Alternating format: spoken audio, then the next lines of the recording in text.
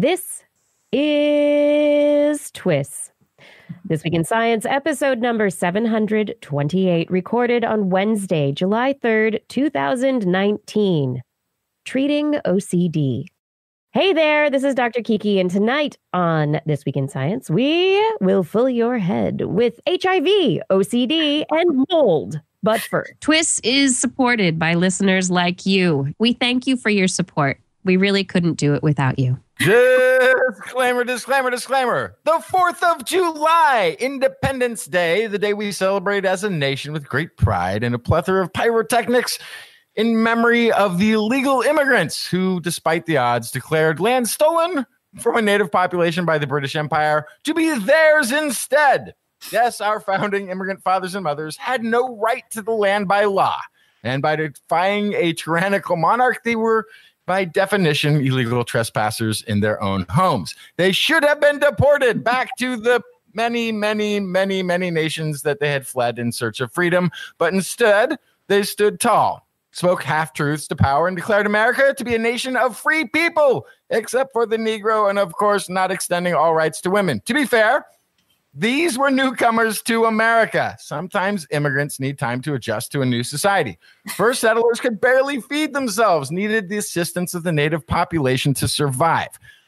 And the founding immigrants brought with them more than a few cultural hangups that needed to be worked out over a few hundred years of assimilation. It would be 144 years between 1776 and 1920 when women first got the right to vote. Oh, what? what? Right? Whereas in most Native Nation uh, American cultures, women had either equal or in some cases were the only voice on internal tribe issues, such as choosing who would be the chief, whose duties usually lied outside of actual core tribe institutional uh, matters. So, as we celebrate this 4th of July, let us not forget that this is a nation of immigrants and that Independence Day is a day of declaring yourself independent from a foreign nation and finding a home instead here on This Week in Science. Coming up next. I've got the kind of mind I can't get enough. I wanna learn everything. I wanna fill it all up with new discoveries that happen every day of the week. There's only one place to go I wanna know what's happening. What's happening? What's happening this week in science? What's happening? What's happening? What's happening this week in science? Science to you, Kiki and Blair. And a good science to you too, Justin, Blair, and everyone out there. Welcome to another episode of This Week in Science. We are back again. Oh, there's so much science. Yes, and we're on the eve of a holiday as we record this episode. So, everybody get ready to get your U.S. independence party hats on. But that's not what our show's about at all. at all. Oh, we're talking about science, not politics. I have stories about cutting out the HIV. I've got another story about mold on the space station. And Uh-oh. we have an interview tonight with Dr. Susanne Ahmari. She's going to be speaking with us about her research into OCD.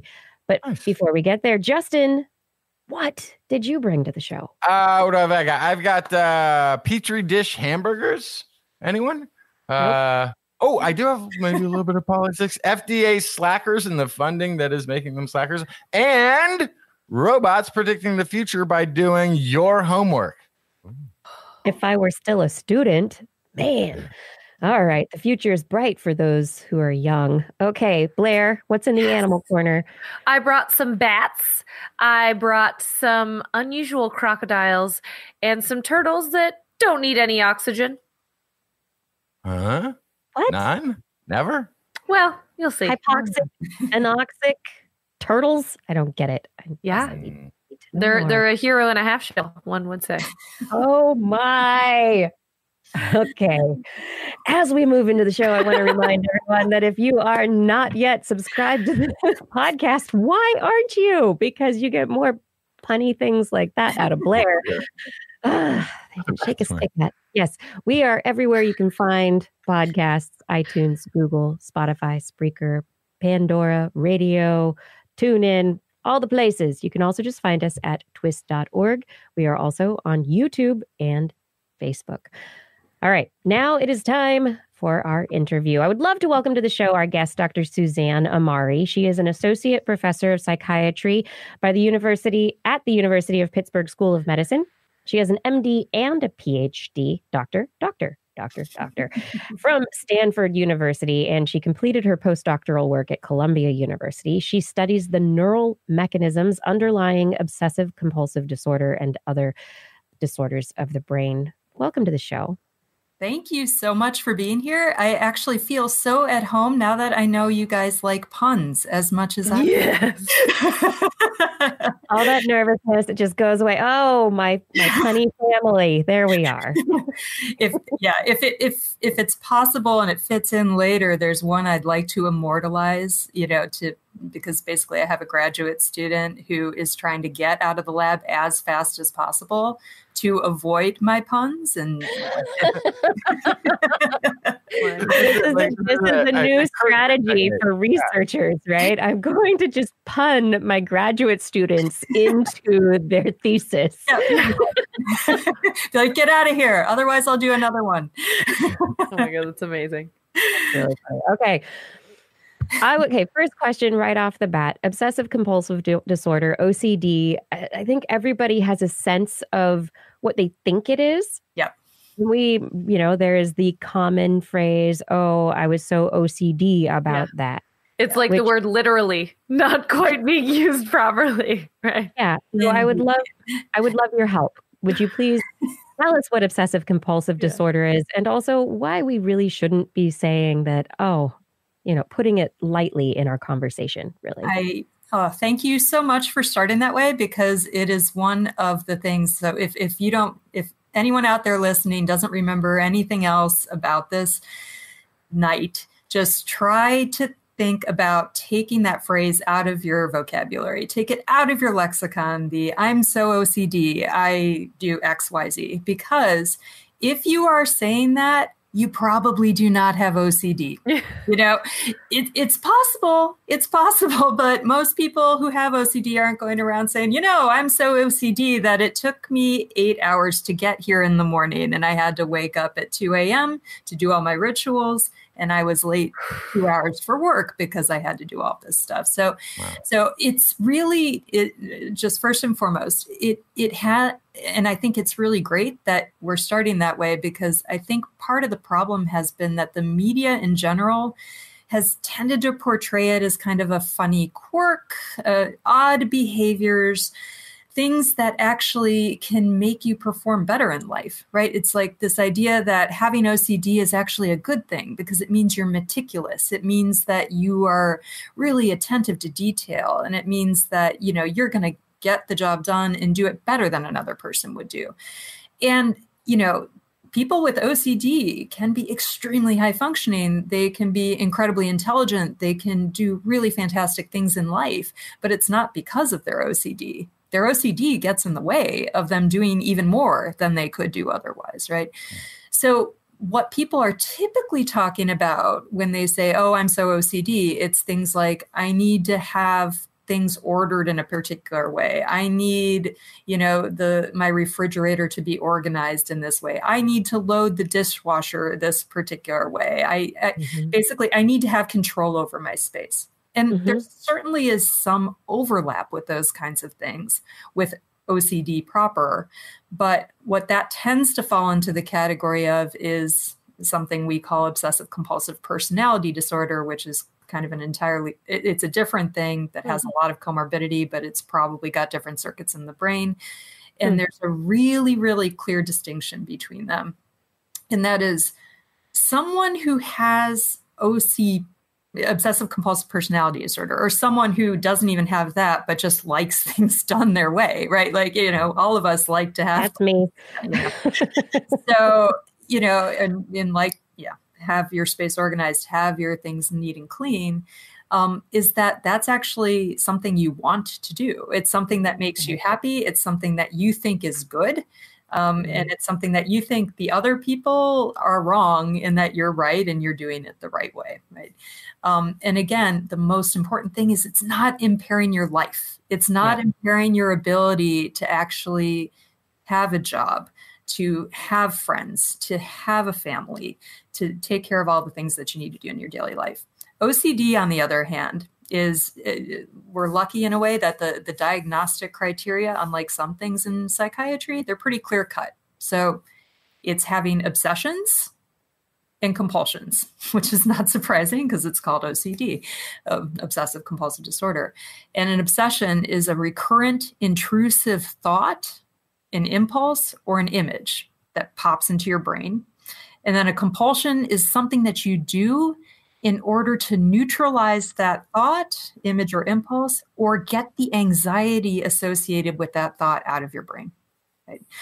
And so that anxiety part, that um, that that link between that obsession actually causing this intense, overwhelming fear and anxiety or distress, and then the compulsion helping to kind of get rid of that anxiety.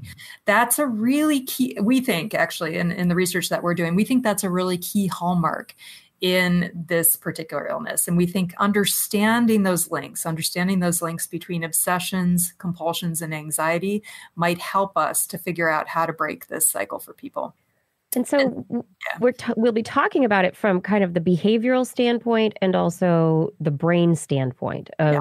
Okay, so you've got the obsessions and the compulsions. So behaviorally, you focus on something and then you have to do a behavior to free yourself of the anxiety. Yeah. But then it can be recurrent and so it it happens in a cycle that happens over and over again. What Yeah. do we know if there's uh, we haven't gotten to the brain part yet, but do we Mhm. know if there's a difference between you know that recurrent obsession compulsion loop that loops on itself over and over and say you know somebody who goes oh did i turn off the oven and you have to go back and turn off the oven or go check even though you think to yourself i must have turned it off but you have to go back and check like Yeah.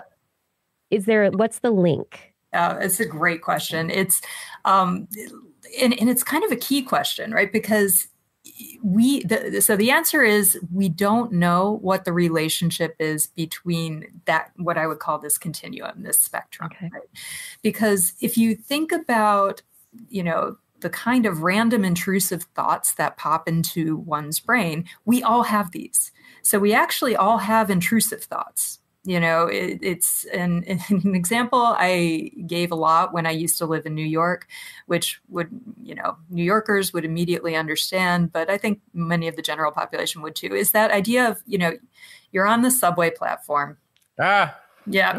I'm, I'm already you like, oh started my God. already this is me at the su- just the subway. It's the whatever wall it was. I was pressed back against it until the train came to a stop. This is I had this over. You haven't even said what it is, but this overwhelming fear that when the train came, I would somehow be on the tracks. Yes. You so you nailed it. This is exactly what I was going to say, right? So you have had that thought. You had that intrusive thought that popped into your head. This is awesome. Did you did you read my mind? I know. No, Blair, Blair will Blair, Blair will um, totally uh, uh, uh, vouch for me. This was this, I would literally have to like press myself against the back wall of the station. And I was there right at the yellow line going, oh my God. yeah, with her hair, with, when the train came, her hair's like Whipping. whipping from the crossing bridge, and I'm like, ah, I'm terrified, like yeah. 10, 20 So- feet away. So it's Mm. that thought, right? And so like half the people are like, "Oh, yeah, I totally get that. I'm afraid I'm going to jump on the platform." Half the people are like, "Of course, I've never had that thought." You can take it one step further, and then half of the people. I mean, this is this is a non-scientific poll I've taken, but half the Yeah. people have also had the random thought. They see someone on that yellow line. They see Blair out there, and they're like, mm. "Oh, what if I pushed her onto the tracks?" You know, and of course you have no desire yeah yeah blair you have no- and you have no desire to do that you Right. have you're not going to do it there's no chance that you're going to do it But the calculation of just how much force it would take, kind of runs fast. the timing. No. Yeah. But part of that is just being a human with a brain, right? Well, so, so these are this is random information from the environment. You're bringing this in all of the time. You're doing random calculations. These random thoughts pop in, and most of this kind of flotsam and jetsam. You know, we're just like, huh, weird thought. And you just let it go. You're like, oh, that was funny. And then you talk about it, you know, over beers or mm-hmm. whatever. But the problem is with someone with a, and, and so that that's kind of the point, right? Is that everyone has these thoughts, these thoughts that are random, that are what we would call ego dystonic. You would not want to do them, you would not mm. hope to do them, yet the thought pops into your head. But for most of us, they float in, they float out, and we move on with our day. For someone with OCD, that thought can essentially essentially get trapped right? So it's like they have the thought, that thought then sticks in their head. They're like, wait, why did I have that thought? Mm-hmm. What what maybe I had that thought because I do want to jump onto the tracks. Maybe I had that thought because I do want to push that person in the tracks. Oh my goodness, that makes me feel like I'm a horrible person. That raises huge levels of distress, huge levels of anxiety. And then you know the idea of okay how can i get rid of that anxiety? And again it isn't necessary there's not necessarily a logic between the thought and then what needs to get done to to kind of neutralize the anxiety. In some cases there is. In some cases it would be I am concerned about being contaminated with germs and therefore I'm going to wash my hands repeatedly over and over again in order to decrease the fear of contamination. But for someone with the, you know, the thought about the person jumping onto the tracks, maybe it would be that they have to you know, uh, t- touch the the subway platform ten times and then they've neutralized that thought they've gotten rid of the bad idea mm-hmm. and then they can move on with their day but maybe they have to touch the subway platform 10 times in a particular way until it feels right until it's the right you know uh, the, the, in, until the signal that it's okay is kind of turned off and for you know for some people depending on how stressed they are how anxious they are or how bad their ocd is you know that could be something where you'd only need to do two or three cycles and then you could actually get on the next train or that could be something where you need to do it for an hour and you're late for work or or that may be something where you can't even tolerate it and you have to go home for the day and so that's the kind of thing you know that that that we're talking about. And the interesting thing, back to um, Kiki's original question about, um, you know, how, are those kinds of thoughts that pop into our brain are they the same? But then the you know then the mechanisms that make them stick are different. That's it's a crucial question and it's one we would love to answer but we don't have the answer to. But what we do know is that if you take it's there was an interesting study that was done where um, they took people who didn't have any evidence of ocd um, you know, didn't have family members with OCD. They were just your quote unquote, you know, healthy controls.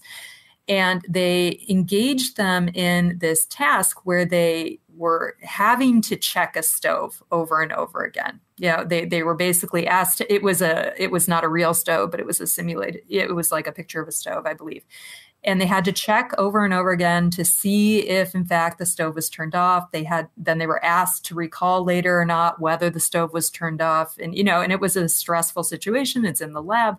And basically people even without ocd started to tend to engage in more and more checking behavior over and over again. So it's mm. what that suggested in some ways is like you know, and again, I do not think this is across the board, but I think there are kind of fundamental circuits that can potentially be primed more in some people than others to start to engage in these kinds of repetitive loops, right? It yeah. sounds a bit like, you know, that it's like training that your brain, there's the idea in neuroscience, you know, the, uh, the neurons that fire together, wire together. Yep. Right. And so you're saying, okay, you this happens, go check the stove. This yep. happens, go check the stove. And it's like operant conditioning for people. Yeah. yeah. So, so this is reminding me of when I was a zookeeper and I worked in the carnivore department. Ah. Um, I would leave at the end of the day and I would get to the very end of the space that I needed to exit and I'd lock the door and I'd go, Are all my locks locked? Yeah. Never in the two years that I was a keeper, did I leave a lock unlocked that was supposed to be locked? But there were many, many days where I would have to turn around, have to go all the way back through all of my enclosures to make sure everything was locked. And I got to the point where I would take pictures. This is right after I got my very first hmm. smartphone. I would take pictures of all of the locks and they would have a date and time and location tag to them so that when I would have those anxious thoughts, I could open up my phone and I could scroll through and see all my locked logs. So, so your phone became the compulsive behavior because yeah. what it sounds like though is that it. I mean, the, these are these are sounding like coping mechanisms. I'm, and if I'm hearing it right, the person who's tapping the platform ten times wasn't getting on the train before, mm-hmm. was not going to get on the train, and and somehow invented a way of doing it. Now, uh, that that sounds like something that needs to be cured. But on the other hand, then I'm thinking immediately to something like uh, a, a, bulimia or another uh, uh, something that causes. You know, there was this horrible story of this woman who drowned their child after hearing voices that told her to. You know, if if it could be actually implemented to do a compulsive behavior when faced with something that's otherwise disruptive, more disruptive than perhaps the compulsive behavior as a so it's an it's interesting. Like i actually hadn't thought of it from that perspective before of you know it's like can there always be a worse thing right that you, that you aren't doing? It's like is that compulsive behavior better than uh you know yeah again like you uh, being addicted to heroin or being, you know, or being suicidal. But I think what I want to stress, uh, and probably didn't come through clearly enough yet, is when someone has really, really severe OCD, and even when someone has like mild to moderate OCD, it can be extremely impairing right um, so you know it it can be so disabling that um, that you might need neurosurgery. Could, we were actually we had um, evaluated someone you know who hadn't been able to leave their house for three years. So th- this is, when it's at its most severe, it's just as severe as someone who has you know very severe schizophrenia, very severe mm-hmm. substance abuse, you know any of those things. And I think part of the issue is most people at least don't don't realize uh, how severe it can be because most people haven't met someone with OCD that is that severe that has admitted to it, right? Yeah. It's we often call it the hidden illness because people are very often good at hiding the symptoms, at compensating for them, and kind of making do by by you know, I kind of alluded to this before by decreasing the amount of sleep they have, by kind of limiting their choices in life, yeah. by deciding that they mm-hmm. could never have a partner, by you know all of these kinds of things. So, so they're they're aware of this. I mean, there's yeah, not there's not a like if you're caught in this loop, it's not that you have a memory loss or no. a short-term memory situation where you don't realize you've already done this uh this loop. Absolutely, it's, it's you realize this is the 16th time, and now I have to get to the 20th or the Absolutely, yeah, and, okay. and, it's actually and it's it's interesting you bring up the memory thing because so um and it, and it gets to kind of Blair's story because you know I mean honestly that's that's getting towards the verge you know of of that kind of experience right which is not that surprising 2 to 3% of people have full-fledged OCD in this country and many more have you know low level again it's a spectrum there's low level symptoms that you know aren't going to be impairing but that can get activated in times of stress or again when the consequences of not doing it are really high like in your case if you hadn't um you know if the locks had been unlocked that would have that would have been on the news, right? That,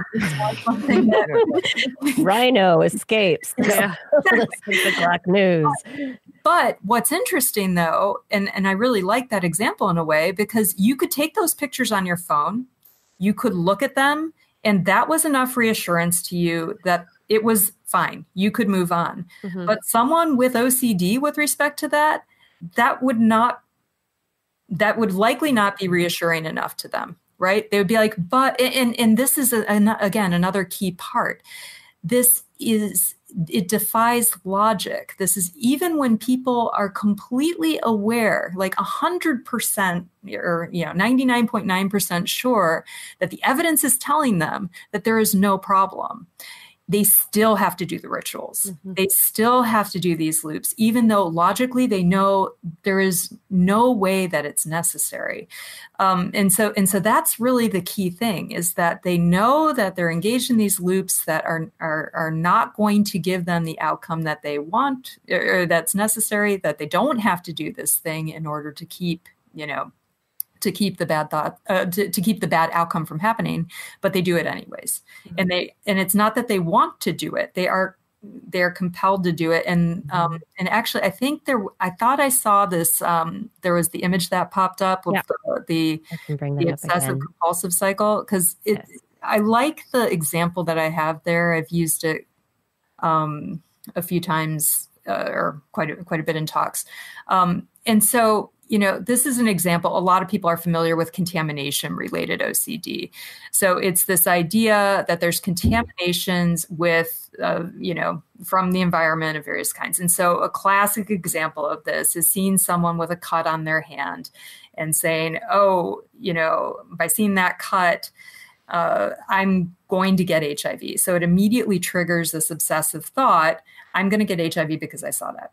Now, this can be, you know, if you're, you know, standing 200 feet away from the person, if you know, like logically, that there's absolutely no way a virus can be transmitted that way.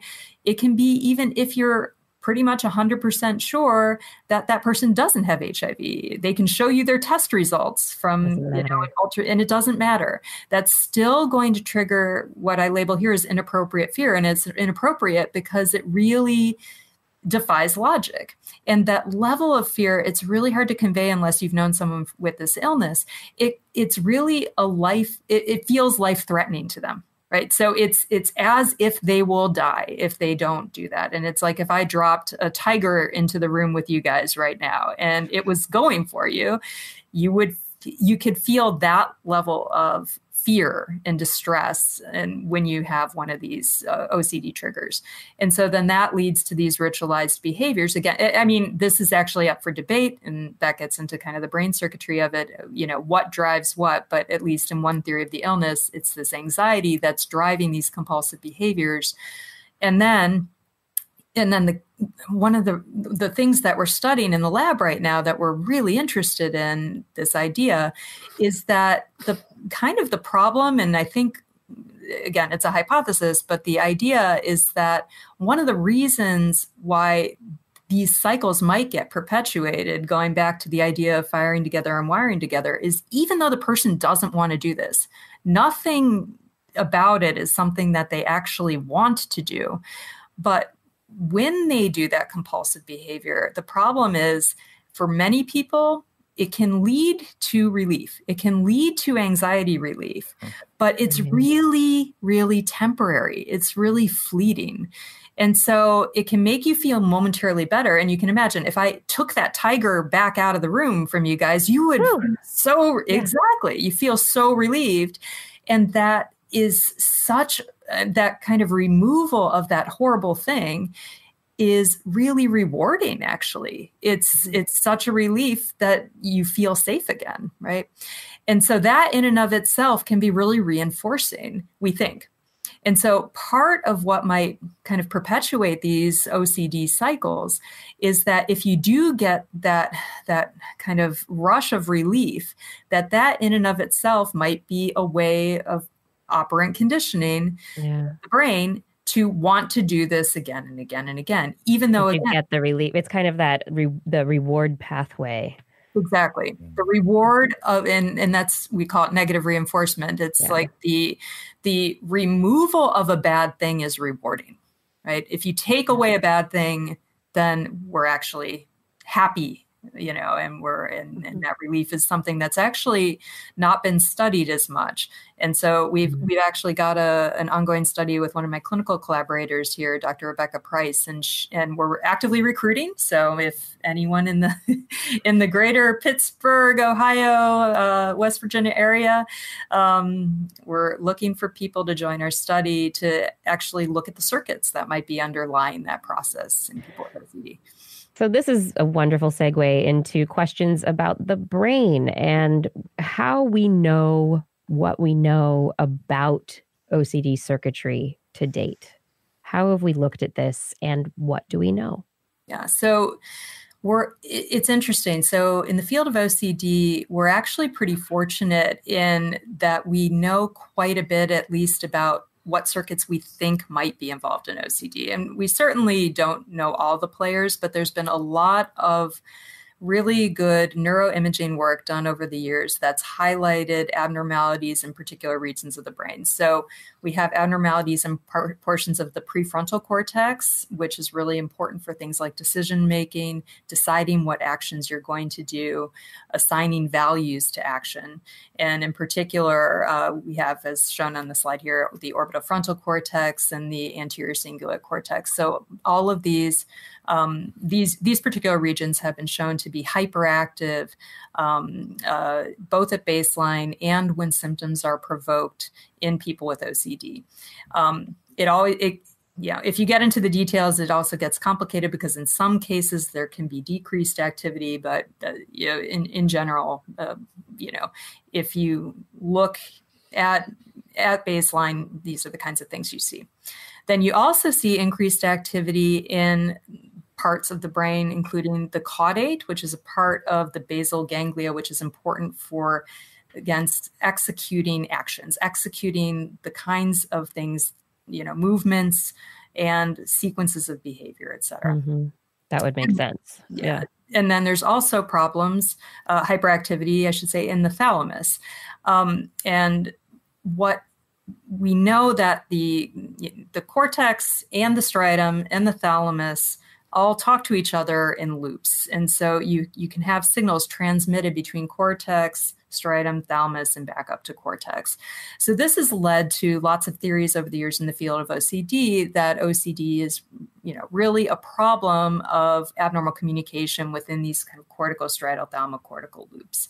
Um, so, so we have good evidence for that from human studies. And then some of the work that we do in the lab is really geared towards trying to dissect those circuits and trying to see how these different regions of the brain are actually communicating during compulsive behaviors. Um, and yeah, and we can talk more about that. We can show the fireworks movie actually. yeah. So so I, I was looking and back in 2013, you had you were one of a couple of teams that had come up with kind of opposing experiments mm-hmm. on yeah. this circuitry in mice yeah. using uh, a technique that it involves light in the brain. Yes. And yeah, so I was wondering if you could kind of give us the background because that kind of that study from 2013 kind of set the stage for understanding things that we've that you've moved forward on.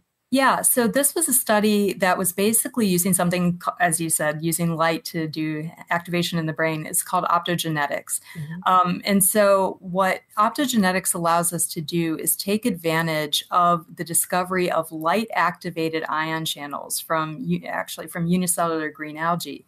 And you can take these channels, you can put them into neurons in the brain, and essentially what they do is they act like sodium channels. Um, and so a sodium channel in a neuronal membrane. If you open it up, it lets sodium in. If you close it, yeah, it, it lets sodium in, it lets potassium out. You generate an action potential, you get neurons firing in the brain. Now, if you put some of these channels into axons, you can essentially use light to turn these channels on and off, and you can effectively cause neurons to fire action potentials in real time. And so this was really exciting because it allowed us to gain real control over neuronal firing patterns in the brain. And we could start to test some of these hypotheses about how hyperactivity in the brain of these particular regions might actually be linked to behaviors that might be relevant to OCD. And so, in the work that we did, we took normal mice and put this one of these molecules called channelrhodopsin into this connection between the orbital frontal cortex and the striatum, and then hyperactivated that to see if it would generate OCD-like behaviors. Now that's a whole other mm-hmm. question. Mm-hmm. It's like so it's basic. You basically you basically took the optogenetics and put the light in and said, go neurons exactly. fire more. Fire. Can we make ocd happen if we add more firing? Exactly exactly. And we found something really interesting um, which was that if you if you turned on those circuits you essentially um, uh, if, if you turn them on you didn't immediately see anything that looked like it might be relevant to ocd but if you repeatedly stimulated the circuits over the course of multiple days, you saw a gradual evolution of an increase in grooming behavior in, mm. in these mice. And what was interesting, so the light had to be there for this to happen, but it actually the um, the the abnormal grooming behavior wasn't happening when the light was on it was happening when it, the light was off, which was suggesting that there was some kind of plasticity process, like mm-hmm. we hmm. were talking about before, that was slowly building up gradually to lead to this change in, in the behavior over time. And then we did, uh, we basically combined that optogenetics with electrophysiology. So being able to record in the brain at the same time as we were doing the stimulation. And then saw, in fact, that yes, when we were repeatedly stimulating, we saw over the course of time if you put another pulse of light into the brain if you put a pulse of light into the brain you kind of you got more activity out over the course of time. So essentially we were strengthening that connection between the orbital frontal cortex and the striatum at the same time. And the interesting thing is so um, you know not only like was that showing you that you could get this progressive increase in the abnormal activity and, and the abnormal grooming behavior if we then didn't have the light on, you know, left them alone for a couple of weeks, came back two weeks later, you still saw that there was a persistent change in this behavior, even though it had decayed slowly over time. Um, so that was just showing us that if we if we kind of broke this circuit by hyperstimulating it, we could actually lead to this manifestation of the abnormal behavior. And other work that we're doing is actually kind of taking that animal model that was used in the other paper you were referring to. Mm-hmm. The it's it's a transgenic mouse model. It's called the SAPAP3 knockout mouse. Um, and and that'll segue into some of the the newer work we're doing in humans. Uh, well, mm-hmm. human postmortem work. Um, and in the SAPAP3 knockout mice, what's interesting is that at baseline, they have a completely different brain. So, in a way, yeah, what we were doing with the optogenetic stimulation was much more, you know, kind of taking a, a, a normal brain and seeing if we could push it, which is, uh, you know, done in an adult animal and so, potentially not as similar as what you would expect might be happening in OCD, which we know is an illness that has a huge genetic component to it. Mm-hmm. Um, and so, what the the other mouse model did was essentially uh, it was it was a mouse that was made by knocking out this particular protein called SAPAP3. It's a postsynaptic density molecule. It's important for kind of holding, you know, holding synaptic shape together, especially so that the neurons connect with each other. So yeah, so that they're mm-hmm. effectively able to connect and communicate properly. Mm-hmm.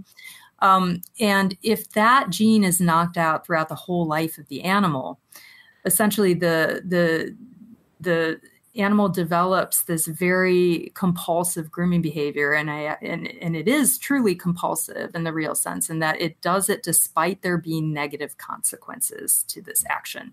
So it it continues to groom despite it being painful and developing painful lesions. Um, it disrupts ability to sleep, to eat, to take care of pups, to mate, etc. And it'll continue to do that. Um, and so at baseline, the brain is very, very different. And yeah. so then what we've been doing is taking those animals that have essentially grown up with this genetic change and using technologies, including optogenetics, including um, in vivo microscopy, where we can take these tiny little microscopes and put them into the brain of the mouse and um, see neurons actually flashing and firing and watching them communicate in real time as the animal is engaged in compulsive behavior. Um, and if we're lucky, we might yes, I was just going to grab that. because so yeah, so this this what you're what you're seeing here is basically a view down the lens of the microscope.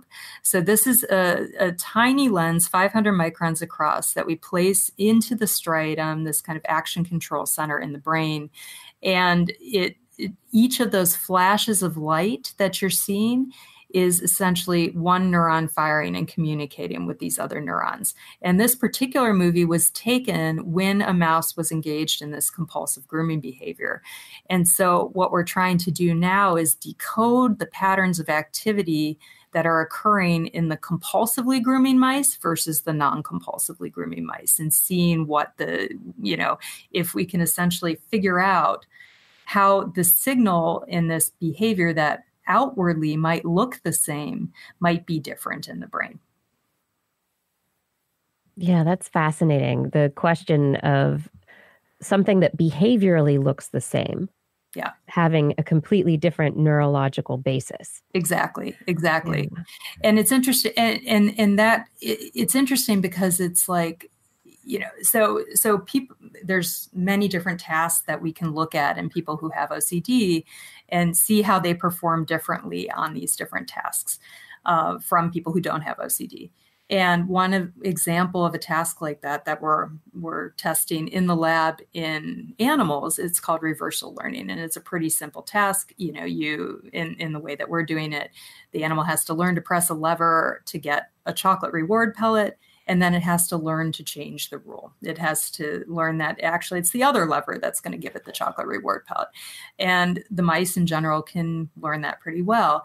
And people with ocd uh, can have problems with that activity. So mm-hmm. they can have problems in actually switching these ta- uh, switching the rules of a particular mm-hmm. task.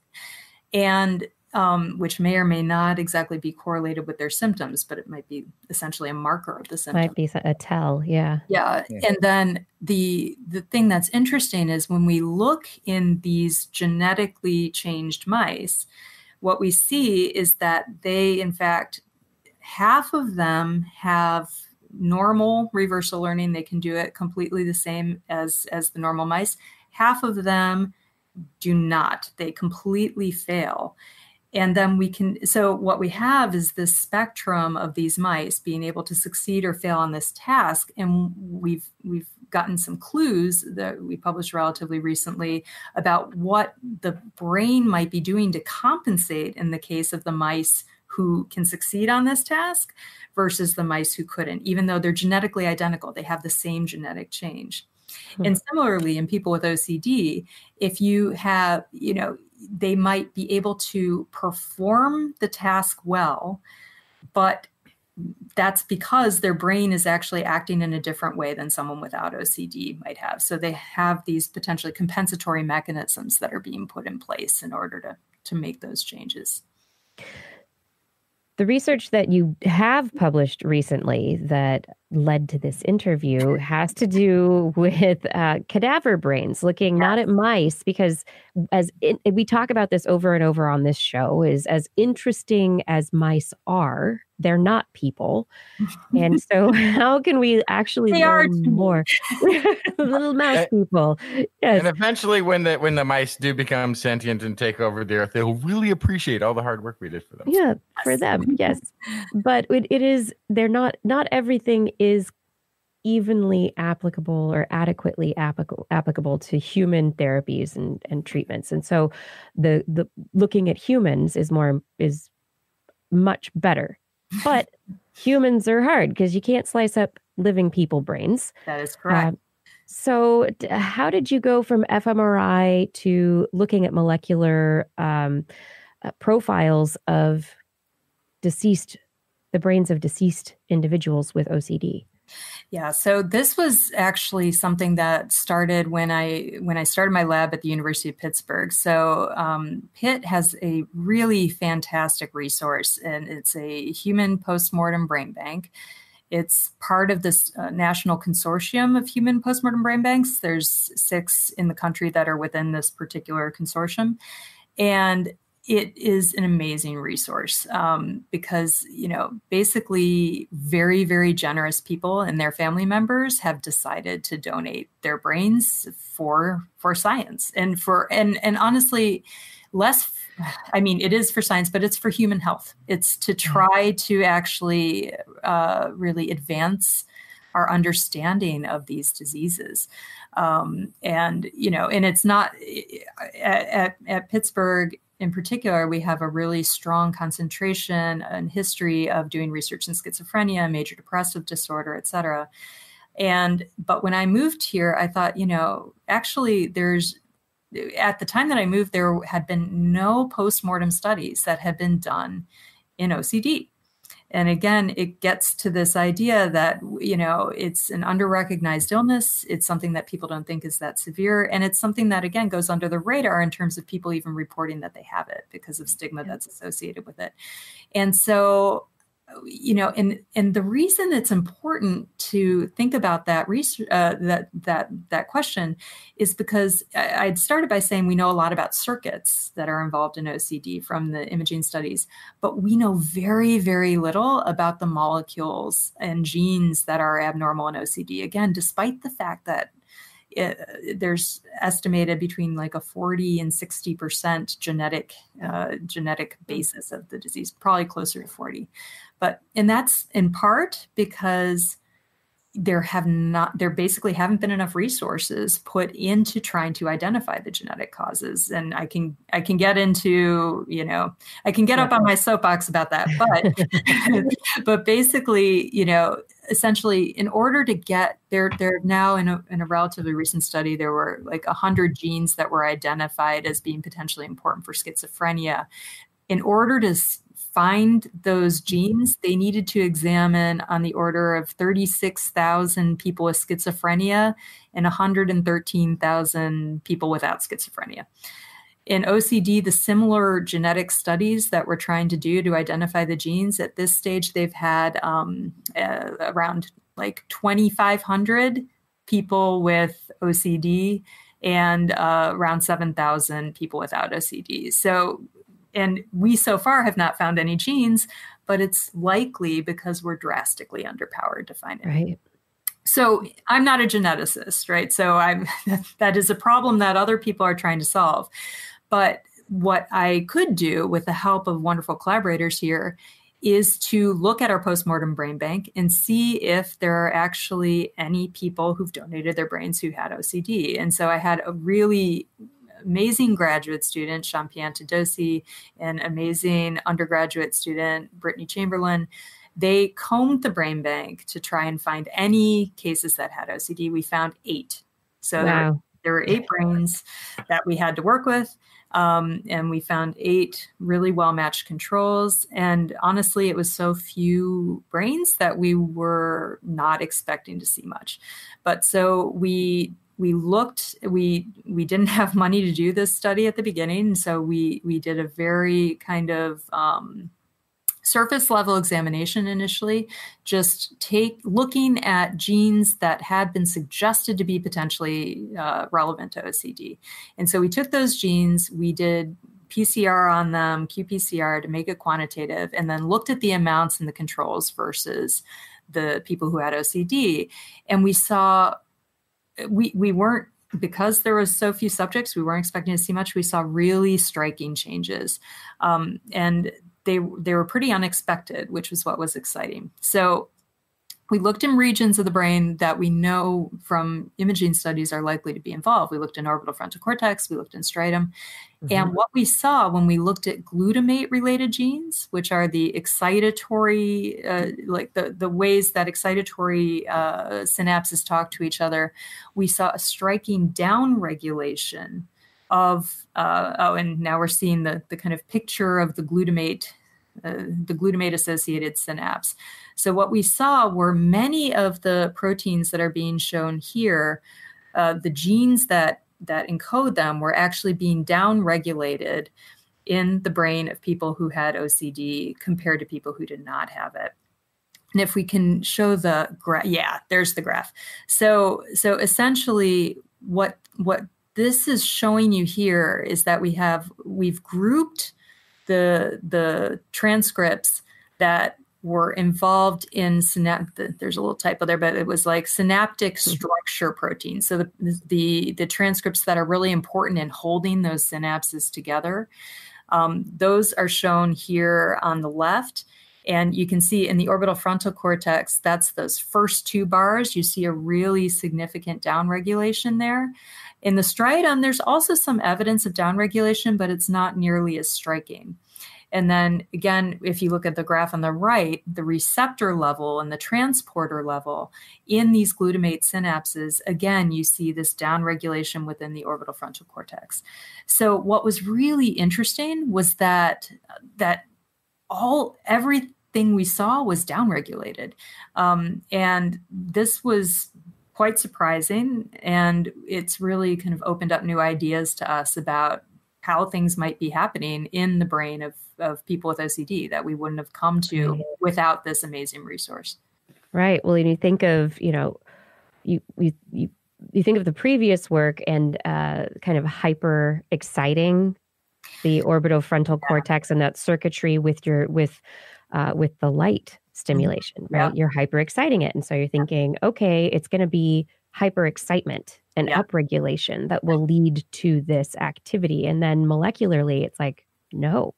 Well, and, and that was in, in, in, in that, and also it's like you have these decades of, of human imaging research showing you that it's increased activity in the brain yeah. you know in all of these regions and then you see that it, that these transcripts are in the opposite direction but but, but this is the difference between fMRI and actual molecular like level stuff because fMRI you're looking at uh, at glucose up, uh, uptake and you're looking you're not looking at the receptors themselves you're looking at hundreds of neurons and their activity in small areas. And so it's this kind of amassed amassed data. net activity, right? Net activity well, of hey, blood flow, oxygen, glucose, yay, activity, but it's not what the activity is.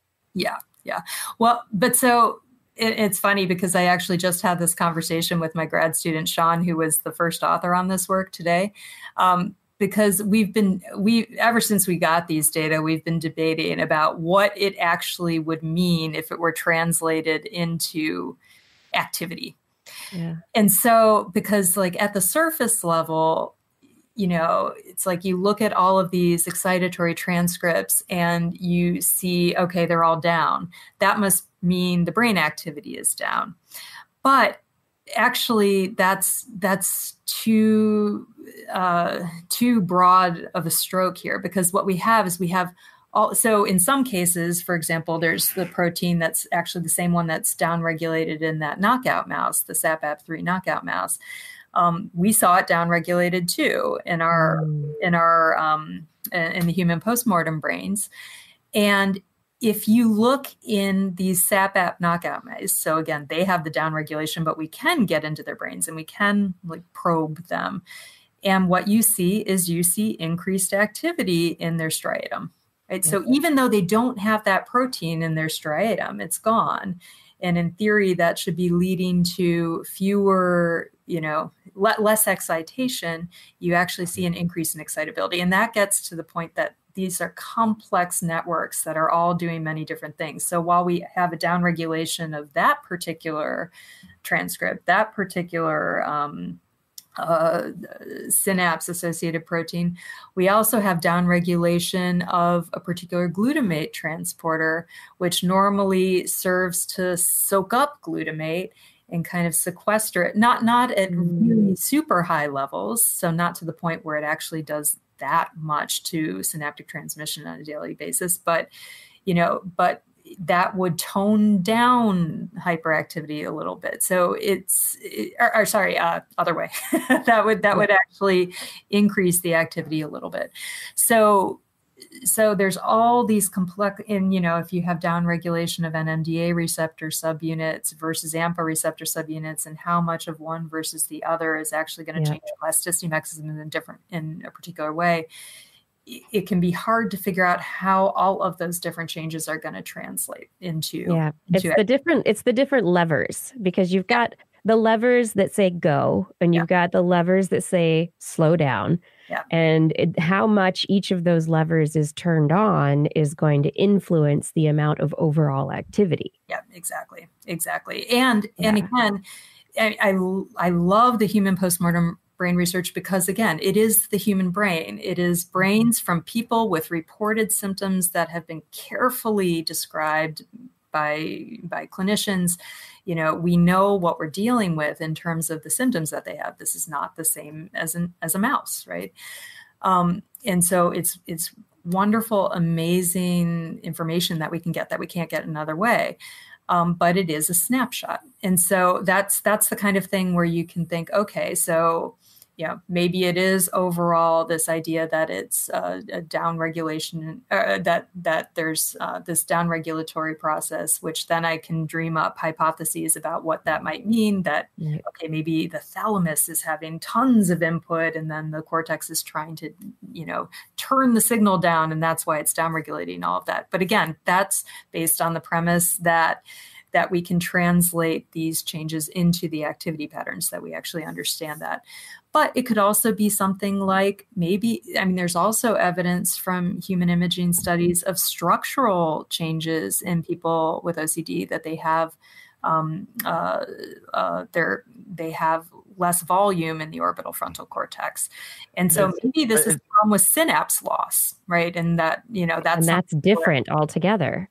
Exactly and we're actively testing that. And isn't that, but that can't that also, I mean, can't structural changes come from like having had OCD for a very long time or something of this yeah. nature? So that that's an affect of the disease and not the.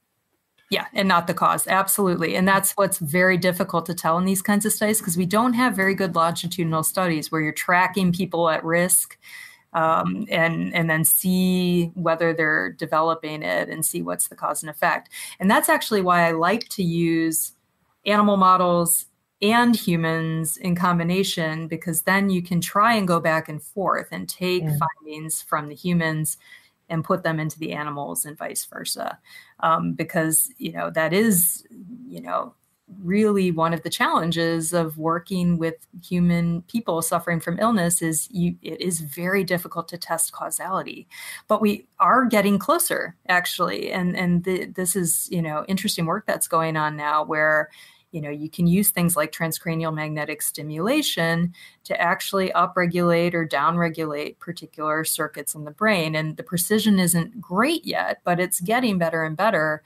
And so it's not that you know and, and you know we of course are thinking about this as a therapeutic as opposed yeah. to you know um, and but there's some really interesting studies going on right now including some at university of pittsburgh again by my colleague dr price who who's who's looking at whether turning up or turning down orbital frontal cortex activity might actually help to help people with exposure therapy for ocd things like that so I mm. guess my question is based on all of this information that we're getting about physiologically what's happening in the brain with OCD.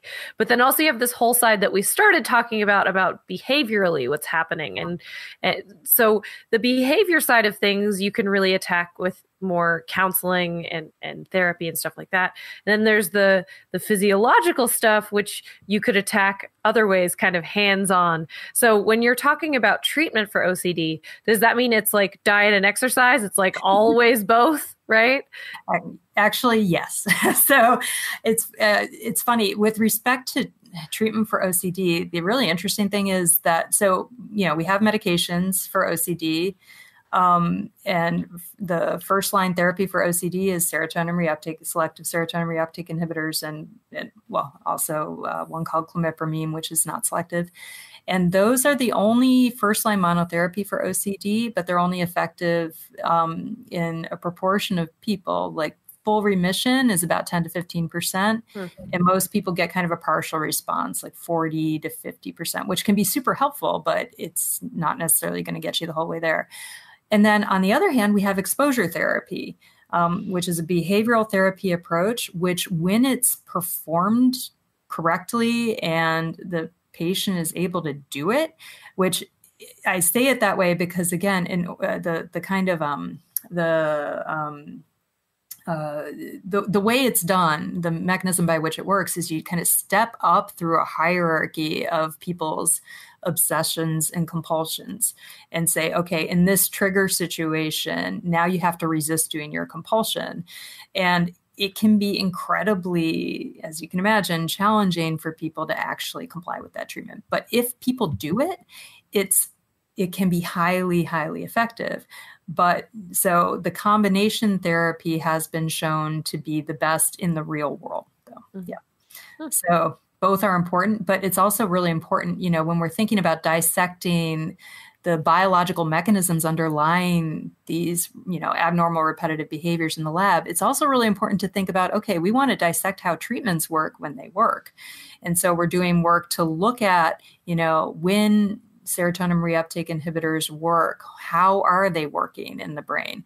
And we're also using a model that was generated by another lab dr greg quirk's lab where they, they're kind of like developing a way to look at uh, mechanisms underlying exposure therapy like things in animals.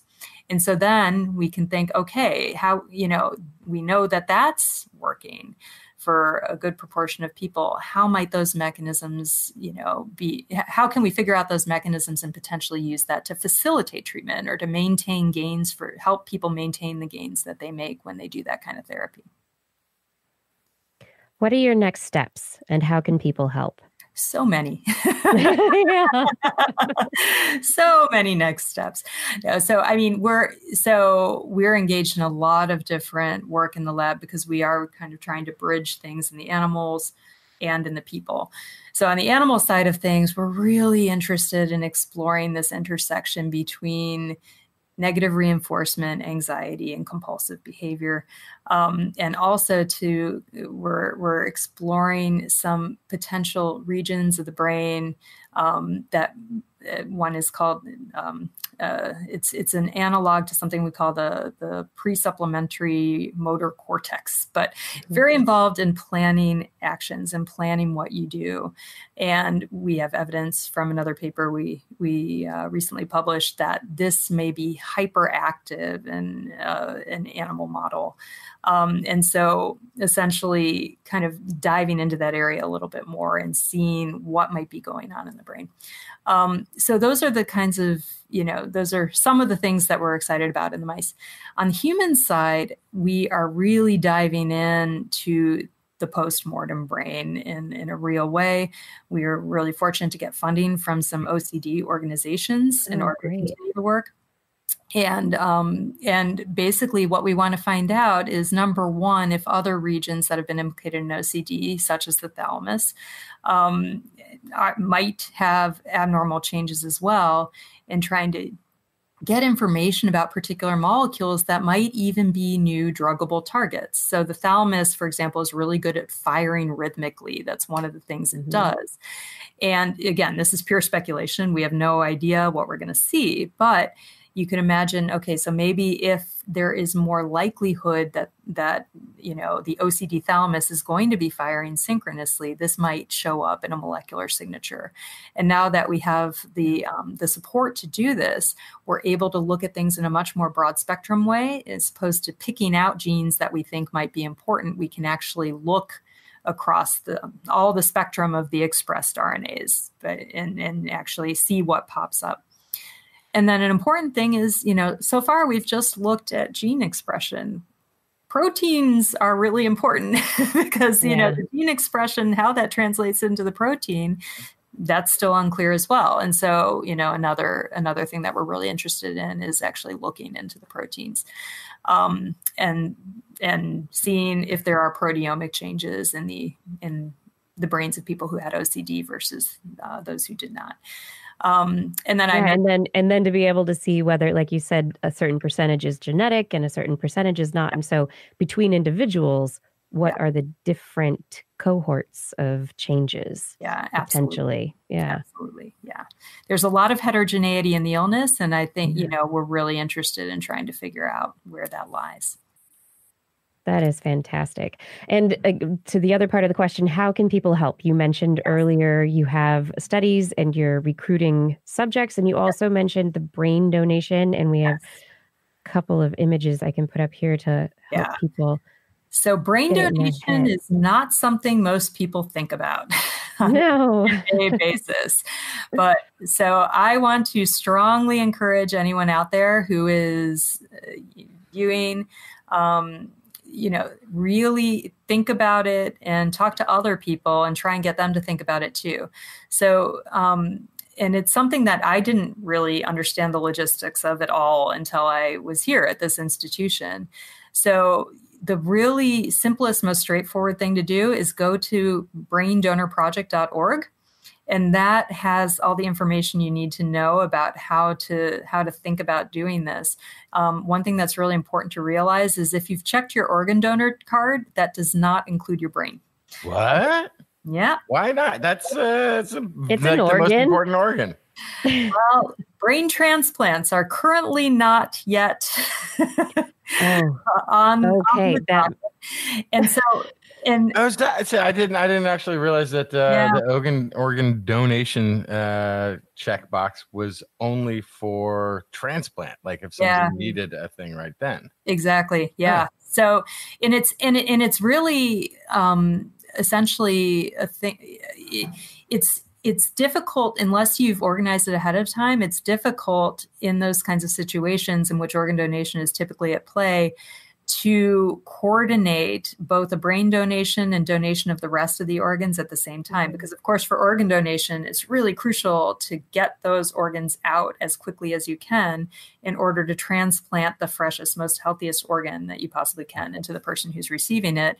And you know and but again if there's advanced planning and you want to do both of these things it is possible. It's just that the teams have to work together. So the people who are who are getting the organs for um, for a transplant they don't have the expertise to remove the brain and preserve it in the way that needs to be done in order to get good high quality brain tissue for the kinds of studies that we're doing. Um, so it's yeah so it's just important to have forethought in in kind of deciding to make that uh, make that decision. And also for family members you know it can be you know it's it's a distressing time for many people Mhm. when this issue comes up of whether or not the you want you know your your loved one's brain to be taken for research like this. Um, and so if you want to do this it's a really good idea to talk to your family about this and to to kind of get all the answers that they might want about it.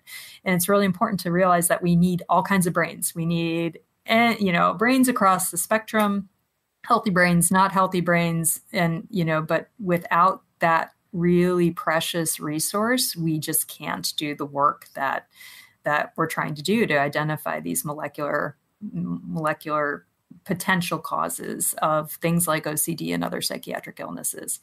Um, So I feel like this is this is a need that maybe mm-hmm. some somebody needs to figure out a nonprofit i don't know but there's so many people out there i'm one of them that says i want to donate my body to science Yep.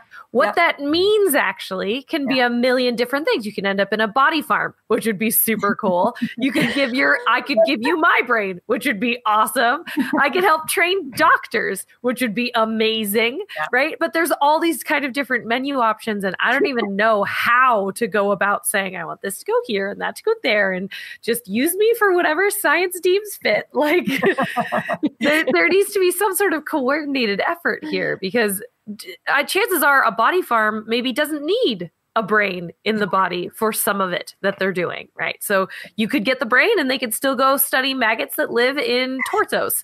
So it would be totally, it could be a coordinated effort for science to get all the different parts from somebody that's passionate about it. Yep. Use the whole body.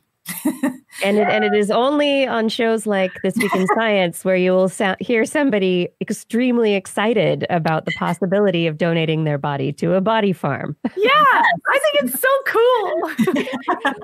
can we go, Kiki? Can we go on a field trip? I would love it. but, but I did, yeah, but that is a good point also that uh, in order to make these donations, Yeah. uh, it's best to do them while you're still living. Yes. Yes. So Uh, have to, like she was saying, we need to plan. You need to Yeah. have conversations. you have to and do it before you yeah. die. Mhm. It's too late if you're like, okay, I'm done with my body. Now I will give it to. oh, wait, it's too late. I It's can't do too it late. No. Exactly. And Wah, that's the wah. thing, you know, at least the coordination is hard. And yeah, the woman who um, who started the the organization Brain Donor Project, um, it, it is totally nonprofit. It was like she actually had the experience of her her father passed away from, I believe it was frontotemporal dementia, and she wanted to donate his brain. He wanted to donate his brain, but she was having an incredibly difficult time figuring out how to make that happen. And so uh, her name is Tish Hevel. And so she took it upon herself to just start this project and try and coordinate efforts across the country and, and really make this happen. So, and it's, yeah, so it's a fantastic resource and I highly recommend it. and and it's very useful to you and your research. Susanne, thank you so much for joining us tonight. I know it's very late where you are at this point in Thank you for time. Talk about OCD so much. Oh, Typically, is- people don't want me to talk about OCD this much. no, wait, No, bring is it. great. This is what we Yeah. want. This is Yeah, fun. yeah.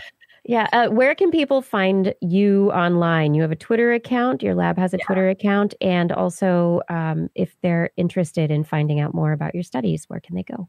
Yeah, so we have um, a webpage, w, oh, www.ahmarilab.edu, I believe. I will check and I will get you the exact information for that. But yes, yeah, Ahmari Lab at the University of Pittsburgh.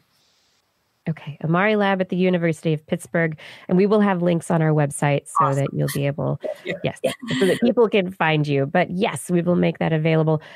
Once again, thank you so much for joining us tonight. It has just been wonderful. Thank Getting you to- so much. It's been great.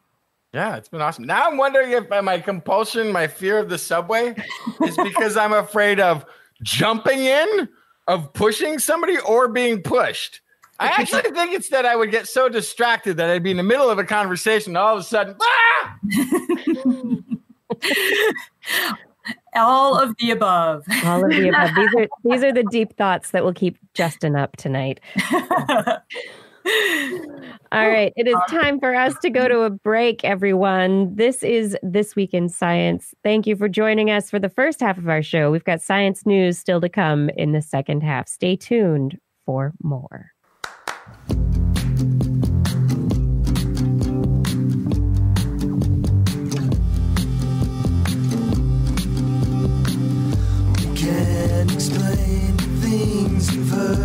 More than intuition. Shows the way. Thank you for listening to This Week in Science. I'm so glad that you chose to enjoy your day with us, to listen to us, to watch us. Thank you for bringing us into your lives. We hope that we are bringing you something valuable. If you do think that what we are doing here is valuable, maybe take a little moment to consider supporting what we do beyond just listening or viewing.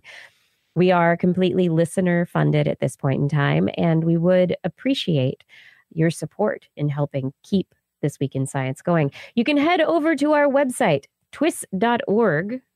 That's where we have all the good things that are twissy, and you can find information there, links, ways that you can actually support TWIS. So the first one, if you're not subscribed, subscribe. Click that big orange subscribe button. It sends you to the three, big ones Google Play, iTunes, or YouTube. And at those locations, you can subscribe. You can get your friends to subscribe. If you want other options, we are available other places. Just look for This Week in Science in your favorite pod- podcast directory. If you want to support us financially, you know, buying our stuff is a real help. So you can click on that Zazzle store link It'll take you to our store where we have all sorts of products t shirts and hats and pillows and phone covers and mouse pads. Some of them have the TWIS logo, others have bits of art that Blair has put together for Animal Corner calendars. A portion of the proceeds from these sales at the Zazzle store do go back to support This Week in Science. Back at twis.org, you can also click on the donate button. That uses the PayPal interface to be able to allow you to donate once or in a recurring fashion. Just fill out the details if you're into PayPal. Click the button and make it go. The other way you can donate is through Patreon. Patreon is like a crowdfunding website for creators and you'll be able to click after hitting that Patreon button one more time, click the Become a Patron button. And that gives you a page with a bunch of choices. You can choose how much your support is going to be starting at $10 per month which is you know we do two to we, we do about four to five shows a month and so that's about the cup of co- a cup of coffee a nice cup of coffee every week you know, $10 a month. That's it. You get charged, you hit select, enter your information, and it's once a month, $10. That's it. And you know that that $10 is going to support your science habit, not just that caffeine habit, right? Yes, get you with the science. So if you are interested, really, if you feel that we are valuable and you bring me that, you, that we bring you something valuable in what we do every week, consider clicking that Patreon link, that Zazzle link, or the subscribe link, and supporting what we do with your listening or with your patronage. We thank you for listening to TWIS, for being a part of what we do already. We thank you for your support. We could not do this without you.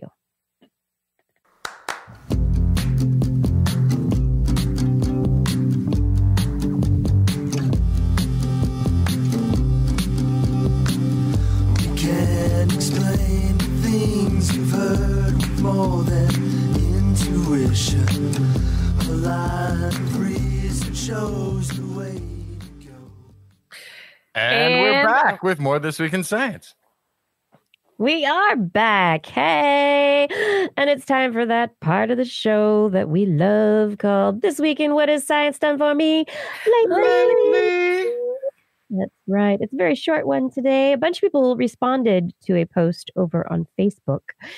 And one of those responses is from Jessica Rodulfo.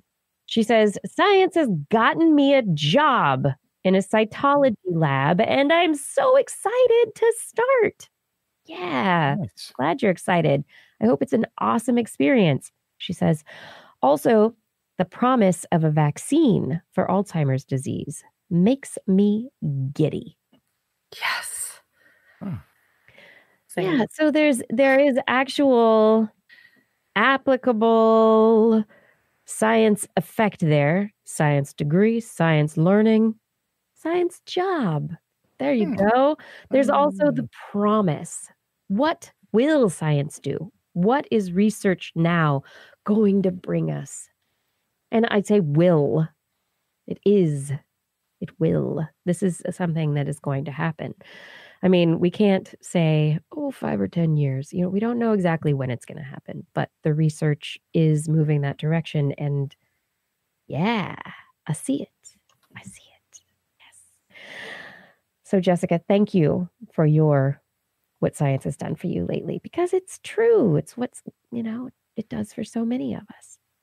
If you have an idea of what science has done for you, lately, this week, last week, today, send me an email, Kirsten at thisweekinscience.com, or leave us a message on Facebook. Click that mess- Facebook message button, boop, boop, boop, boop, send us a little note, and we'll be able to read your story, your idea, your thought on the show. And we appreciate you keeping this part of the show going. We can't do this part of the show without you. All right, let's jump into the science. Are we ready for this? Mm-hmm. Okay, we are going to do this. Let's get this 30, 45 minutes for a whole half of the show. We can, yeah, we can do it. Yeah. Okay. Researchers publishing in Nature Communications this week. Big study. Researchers from Temple University School, Lewis Katz School of Medicine, and also University of Nebraska Medical Center have worked together. This is collaboration, two teams working on different things with relation to HIV. One team was working on antiretroviral therapy. And so if um, you if you're familiar with HIV, people take the antiretroviral therapy drug cocktail to keep their virus in check so that they don't get sick. And these are drugs that they, if you have HIV, you pretty much have to take these drugs for the rest of your life. However, this group came up with a new kind of twist on art, art antiretroviral therapy. They call it laser art.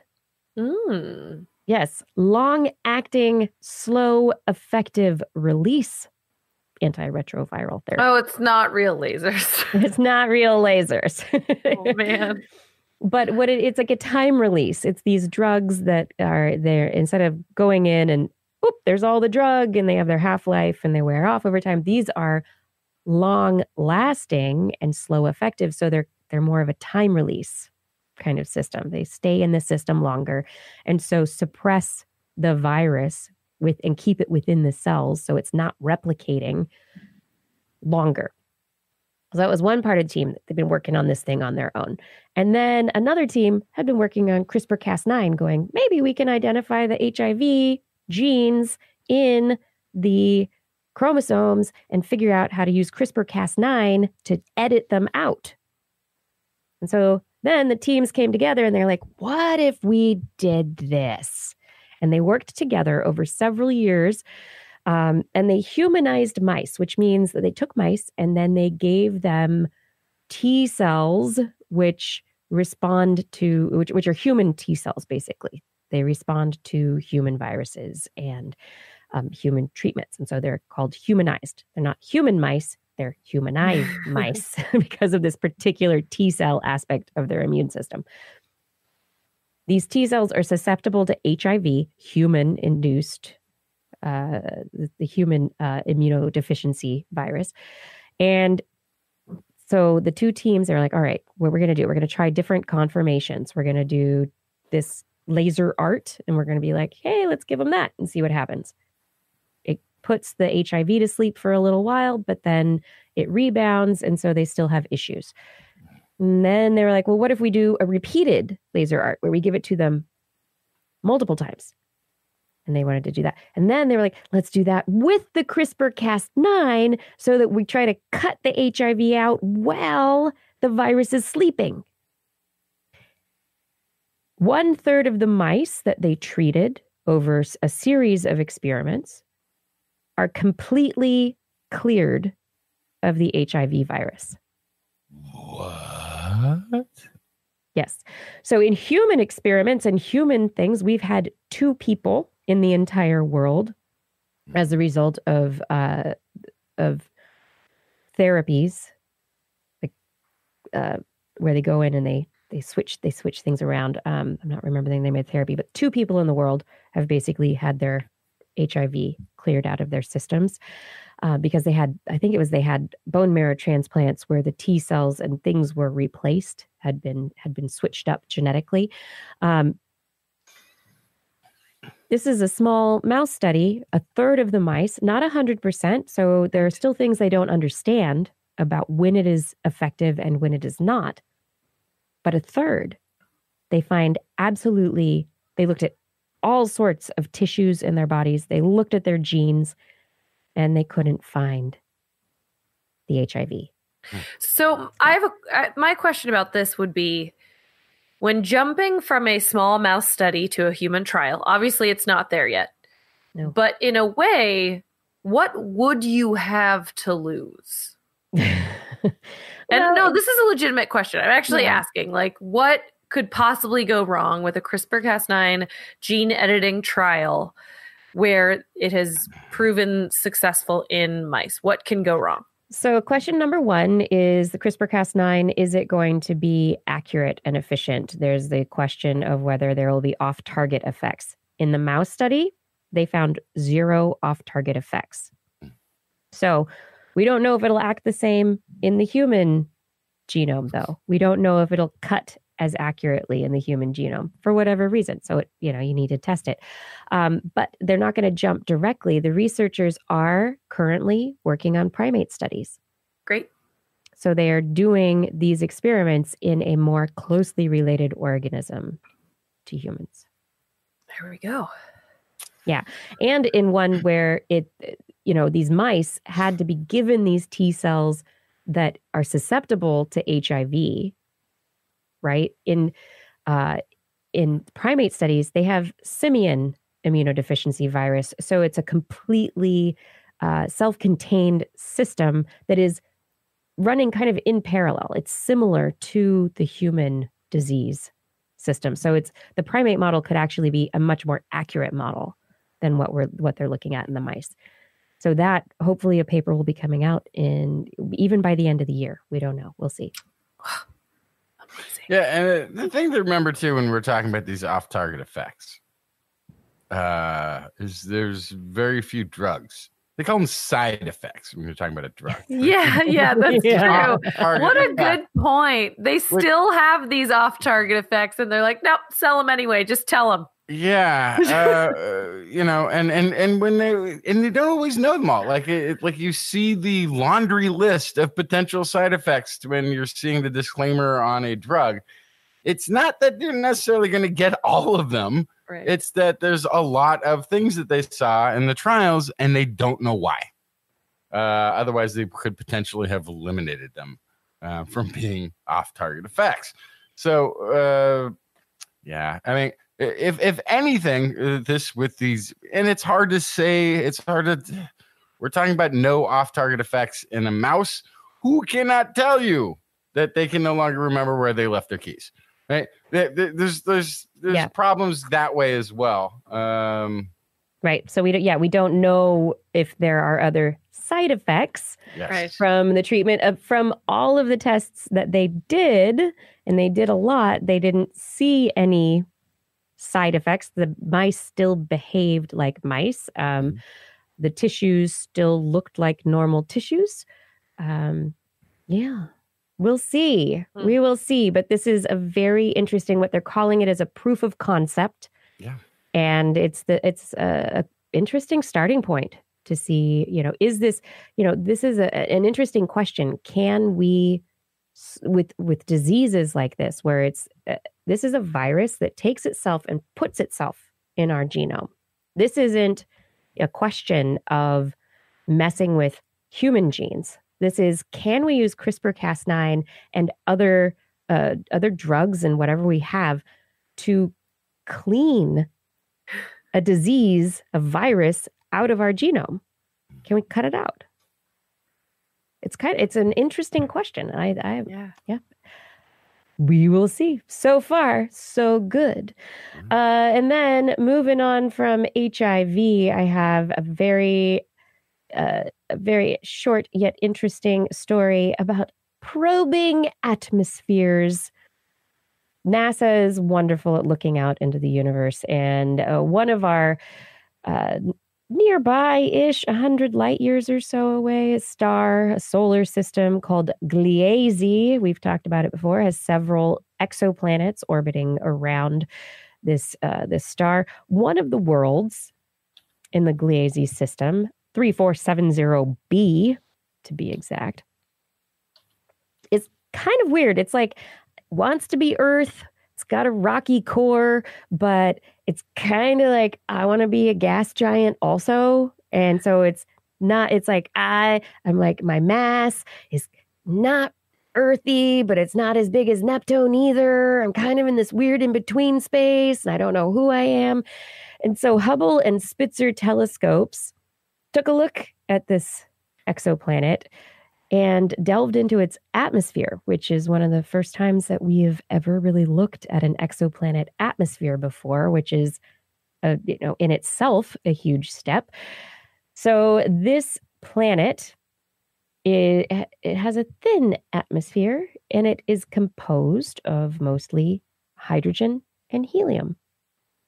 So it's kind of like our sun, except it's a planet. Yeah. And so it sits very, it it sits pretty close to its star. And they think what happened is that it formed close to its star and that it grabbed onto the ring of dust and gas that was kind of clumping up as the Gliese system, 3470 system, was being put together. And it was maybe had enough gravity because of its rocky core to grab a bunch of the gas that was in this primordial disk. And it didn't lose all of it because it had enough gravity, because it has this, because like I said, like Earth, it's kind of massive. It's massive enough to hold on to an atmosphere. And the gases are relatively light, but it didn't end up puffing up. It didn't grab all the gases because it wasn't quite big enough and it was close to the star. And the star itself was probably burning off some of those gases as it was grabbing onto the gases. And so it ended up with this thin atmosphere instead of turning into a hot Jupiter. It's kind of a meh Neptune. or should I call it a meh tune? Meh. yeah, definitely that one. that one, yes. Um, yeah, so it's still pretty small, but it has an atmosphere, which is very interesting, and it uh, gives us another look at a planet beyond our own solar system with an atmosphere to ask and even potentially answer more questions about how planets form, how some planets turn into gas giants and others just gain atmospheres. So we're looking beyond. It's pretty cool. I think it's pretty neat. Nice. To Gliese and beyond. And then when James Webb Space Telescope ever gets out there, maybe in two years now, I don't know, it'll be able to look at it more closely. Yeah, wasn't it supposed to go out there pretty soon after we had that interview in Baltimore? And then Yeah. yeah. Yeah. Oh well, That- we're waiting. We're we're waiting as patiently as we can. Always waiting. Yep. Justin, I do not need a burger right now, but please tell me what I'm missing. Okay, so uh, this is the future of lab made foods, and the potential downside uh, is that people won't buy them. So we talk a lot about this, and I've been convinced that meat is murder, uh, not necessarily to the animal. That's uh, survival of the top of the food chain. Uh, but it's really bad for the envi- environment. The resources that we use are contributing massively to global warming. Uh, one of the reasons that people are afraid of a resistance to lab designed food that wouldn't require the same resources is that it is not produced in the natural way. These people have probably never seen uh, the manufacturing floor of a food processing plant Uh-huh. uh, to think that food is naturally uh, made or produced in any way. No, the breakfast sausage that you are frying up in the morning wasn't from a fat farm pig that farmer Olga picked because it had gotten plump enough for the breakfast feast, then lovingly hugged it to death. Carving choice meats under sanitary conditions. No, this is not how this takes place. It's in some dirty warehouse with lots of uh, blood from the cow that was there uh, 30 seconds before, or still on the ground, and another one is going down. This is it's just brutal process. And then it goes to a place, and then it sits, and it's cooled, maybe at the right temperature. Well, but never of these mind. Also, what part of the chicken is the nugget from? Right. Yeah. So you have this whole question of the processing after that. Yes. So in the near future, though, we may be able to either come up with a synthetic meat product that is manufactured by uh, microbes, or a we may be able to mass produce in a similar method uh, meat directly from animal cells, a bioreactor uh, that would save the world from the negative effects of raising uh, cattle and poultry and pork uh, with the, massive amounts of water and land and nitrogen resources and everything else that goes into it. Writing in Frontiers in Nutrition, researchers warn that the most common, uh, common media framing of cultured meat as a high tech innovation, as a cutting edge thing, may actually be the less least effective way to get people to accept it. Uh, because, of course, if people don't buy into this, it will never happen. This Don't you think though, if if you if you marketed it as a meat alternative, like a vegetarian product, it might actually gain a lot of traction, like the Impossible Burger, right? That's gaining all this traction everywhere. So, so the Impossible Burger is, of it, but these would still be animal cells, Right, which is where it gets Mhm. weird because, like, bit. for I example, don't eat red meat, but because Why of do the, you not? the Yeah. environmental impact. So if this is environmentally, but then there's just this whole ex- existential issue of like, is it meat? I mean, technically, yes, chemically it's meat, but it didn't come from an animal.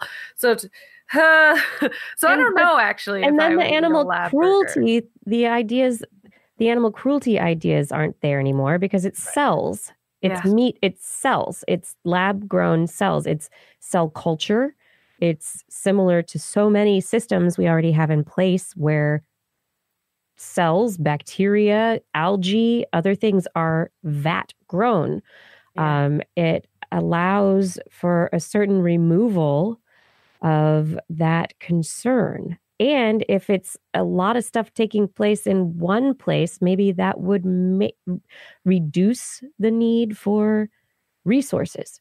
Yeah. Uh, So, so this is know. basically you've uh, paraphrased the quote uh, from lead author Christopher Bryant, at University of Bath, who says cultured meat has the potential to reduce the ethical environmental public health burdens associated with conventional livestock farming. Uh, and then uh, co-author Dr. Courtney Dillard of Portland State University uh, and Bryant assessed how framing the cultured meat as an innovation which benefits society, one, or a high-tech development, two, or as very similar to conventional meat, uh, affected the attitudes and behaviors, behavioral intentions of people who were being presented with this meal. So they did priming, basically. This is an, uh, an alternative. Uh, this is high tech. This is basically the same as what you've already been doing. Uh, they put this in front of 80, uh, 480 uh, people 88% were meat eaters, so we had a 12% uh, vegetarian context there. And they found that those who uh, encountered cultured meat through the high tech priming had significantly more negative attitudes towards the, cons- the concept and were much less willing to consume it. High tech framing group was least likely to consider cultured meat safe, healthy, or environmentally friendly. They rated themselves on average 14% less likely to try cultured meat compared to the societal benefits or same as meat groups. So, uh, what's kind of interesting about this, it's the 480 I think, a decent sample size. The the idea that they just the way that they presented the framing of it could Yeah. drastically alter people's reactions. I'm But I'm honestly not looking at. Mm-hmm. surprised because people hate the idea of GMOs, right? Even though pretty much all thing. of the food that we That's eat is genetically modified. So Right. that's a whole silly thing. But they're like, I don't want any franken foods, and it's kind of the same, right? Exactly. But that's Well, that's the so whole it- thing. it- it's framing, and so they're testing framing message. Yeah. How can how can we talk about this with the public and have them react in a positive way? I Mhm. mean, the, the Yeah, truth is, this- it's mul- there are multiple publics, and so Mhm. there are going to have to be multiple messages. Mhm. but yeah, and that's the other thing is that this is not genetically modified cells. Mhm. yeah, It- it- like so not. so if GMO is the concern, this isn't it. It's But it's, just if it's associated with science and synthetic, oh bad. If it's like, oh, here's a way to keep from having to use resources and kill animals, that's you know, that's a great idea. So uh humans are really like not rational creatures. Ah, newsflash. Right? Yeah. Okay. News flash. From there, take me into your science, sci- other investigative science report. story, yeah, the other story? story. Yeah. Mhm. So okay. Uh, so the best way not to worry about a thing is to not look at the details of the thing too closely. Or, or if that's still not enough, you could hire highly trained people to look at the details for you, so you don't actually have to. Uh, and then you can just assume highly trained people have looked at this; they'll be fine. But what if the highly trained people who you assume are looking at the details actually aren't looking at them at all? not a problem as long as you don't know. You still don't have to worry. But of course, the reason you were worried and didn't want to think about the details too much is because they were so worrisome. And so the fact that you're not thinking about them isn't the point. The point is there's something to worry about. and and you can explicitly be ignorant about how little you know until you hear that I'm talking about the Food and Drug Administration and the fact that these highly trained people don't seem to be looking at the details of any food or drug regulation you assumed was involved in the thing that you were eating or the drug that you were taking at this point. No big deal. No big deal as long as you don't care how things are made or what goes into your body or what might potentially kill you. So this is, uh, you know, uh, FDA compliance and enforcement uh, uh, for uh, looking over and monitoring how food is prepared, how drugs are manufactured, what is or is not safe for public consumption. And according to Charles Piller, and this is uh, he's a contributing con- correspondent in the news department at Science. Uh, they're down a third of their uh, of their warnings. So their their FDA is the adult when it comes to supervision regulation of clinical trials, food safety, product recalls, medications, medical devices, among other things. They do warning letters. They flag violations, uh, saying, "Okay, this is a dangerous food. That's a dangerous medical device. You should pull this off the market. You should relook at this. We're, you know, warning, warning, warning. We have a problem." Those are down a third since the current administration has taken place, and they're actually down uh, they're trending down from the first year to the second year. Uh, this is also um, we're also looking at a, t- a time when the USDA, uh, which also has similar regulations and research into what is or is not impactful to our environment, our livestock, and the rest of it, is being told largely en masse to move to Kansas or get fired in two weeks. So we have like the very interesting dismantling of the protections of food that we eat, which brings me back to the story that I was bringing up before. You have scientists making your food in a lab under a separate condition where they uh 100% where they, pure. where they where, where yeah, where it is a highly controlled environment. Uh You Yeah, want a you want a regulatory organism like the Yes. FDA to be doing its job. Yes, and and if they only have to look at a giant bio- bioreactor and not try to legislate from the office that hasn't been built yet that they're supposed to move to in Kansas, Yeah. uh, or get fired and just do away with the USDA. Uh, an FDA that doesn't seem to be being prompted to do, and they don't know why. Uh, I'm I'm reading into it, but they can only see that the the reports that the FDA puts out are down, and when uh, when asked, the, uh, there was a written statement from the FDA that did not dispute the findings of the report. So they're not making a counter argument. They're saying, "Yep, that's what's happening." Didn't elaborate, didn't explain. And this is why. That's why. Nope. Just yep. We're we're not doing as much as we did. yeah. Well, Yeah. Okay. Well, fingers crossed that policies, people. yeah. things will turn around. Exactly. Speaking of turning around, I think I know what time it is. Uh-oh.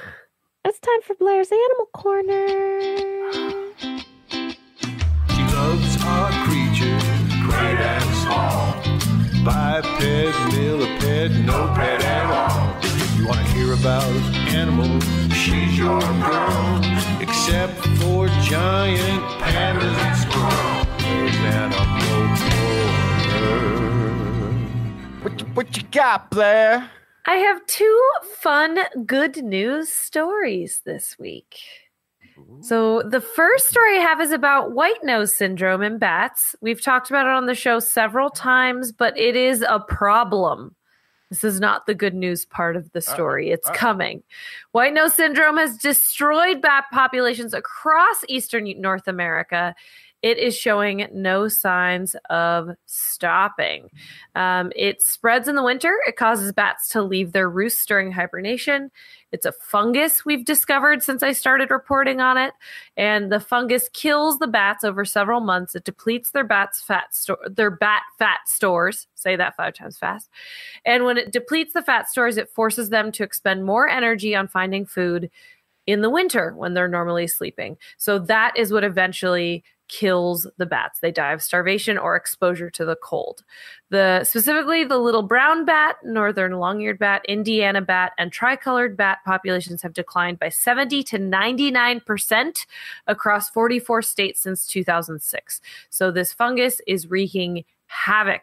A lot of these bats are now considered functionally extinct. They do not fulfill their role in the environment any longer.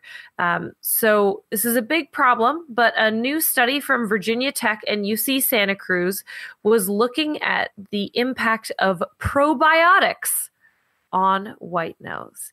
Um, they found that overall it did reduce the impact of the disease. So they did this in two stages, which I think is really interesting. Um, so the first thing they did is they actually had an um, natural kind of wild cohort that they treated. So this is an abandoned mine in Wisconsin. They tested the efficacy of a um, bacteria, Pseudomonas fluorescens. Um, so P fluorescens in two simultaneous experiments. So in one of them, the the bats were caged so it was controlled and in another they were free flying so they were all tagged with a passive integrated transponder P- PIT, a pit tag, um, which allowed researchers to identify and keep track of the individuals over the time. And they wanted to see what happened when the bats had freedom of movement, when they could go out into the natural field, and when they could interact with the environment like they would normally versus when they're held in a cage. What they saw was that treatment with this bacteria lengthened the amount of time that bats stayed in the mine when they had the option to leave. So this delayed emergence time, which ultimately is what they think is the the final kicker in what kills bats from white nose syndrome. So the delayed emergence time puts the bats emerging closer to spring when there are more insects available, which gives them a greater chance of survival and recovery. In the caged experiment, there were individuals that got really sick and um, that influenced survival estimates, um, but they found that the amount of fat that the bat had was the only important factor in predicting their survival in the cage trial, not how infected they were. So if they were infected at all, it would appear that they were waking up, they were stirring, they were needing more nutrients. And so it depended how much fat they had on them. But the level of infection didn't seem to matter. Um, in the free flying experiment, their controls only had 10% survivability, um, while their treatment group had 50% survivability. So they're considering this a five fold increase in survivability, which is huge. They were thinking of ways that the probiotic treatment could be developed for um, the wild for a more increased application or trial. Um, so currently, researchers are testing to see if pairing probiotics with other treatments. Uh, some of which we've talked about on the show can increase survival even more. Um, since a lot of you are probably wondering, I had to do a pretty deep dive into the paper to figure out exactly how they were treating the bats with probiotics. No, they're not giving them yogurt. Uh, they actually do a spray a liquid spray onto their wings to apply the hmm. probiotic, mm. which is interesting because their control, they don't spray at all because their control, as they saw it, was um, treatment versus no treatment, not type of treatment. Right. So in this particular study, they didn't get a wet spray at all if they were a control. And so, um, okay, so the ones in the cages didn't get the spray. So the bats in cages and the bats free flying both got both treatment sets. Okay. But so they wanted to see kind of what ultimately was killing the bats. And it appeared okay. that when they were free flying, it was the act of going outside, searching for food, exhausting themselves, getting cold which would then stress their systems potentially. Mm-hmm. And also because they're flying, and if they don't catch food, then they're depleting their fat stores. And exactly. so they're less able to protect themselves immunologically. Yeah. Yeah. There yeah. you go. So, um, interesting stuff. Probiotics, so, not so, just for us. Yeah. So we should just go spray caves with bacteria. I mean, we could. Yeah. That would be, that would yeah, go out there with one of those uh, sprayers that you use to spray fertilizer on your lawn. just just spray all the bats and be on your way. It could actually work, and that could be a thing that happens. So stay tuned. Lick on their that. wings. Yeah. Their wings. Um, next, let's move on to the other uh, good news story that I have here. Um, a turtle may save your life. what? It may save your life Again? when you are again when you are suffering from heart attack. Let me explain. yeah, please. What? This does not make any sense. This is a study from University of Manchester and University of North Texas, and this is looking at snapping turtles and specifically why they can survive up to six months without oxygen. So, in the wild, these guys will be under uh, frozen ice. That sometimes they'll be underwater. They'll they'll find all these uh, situations where these turtles will be uh, without access to air for up to six months. Um, and so, how are these turtles making it through?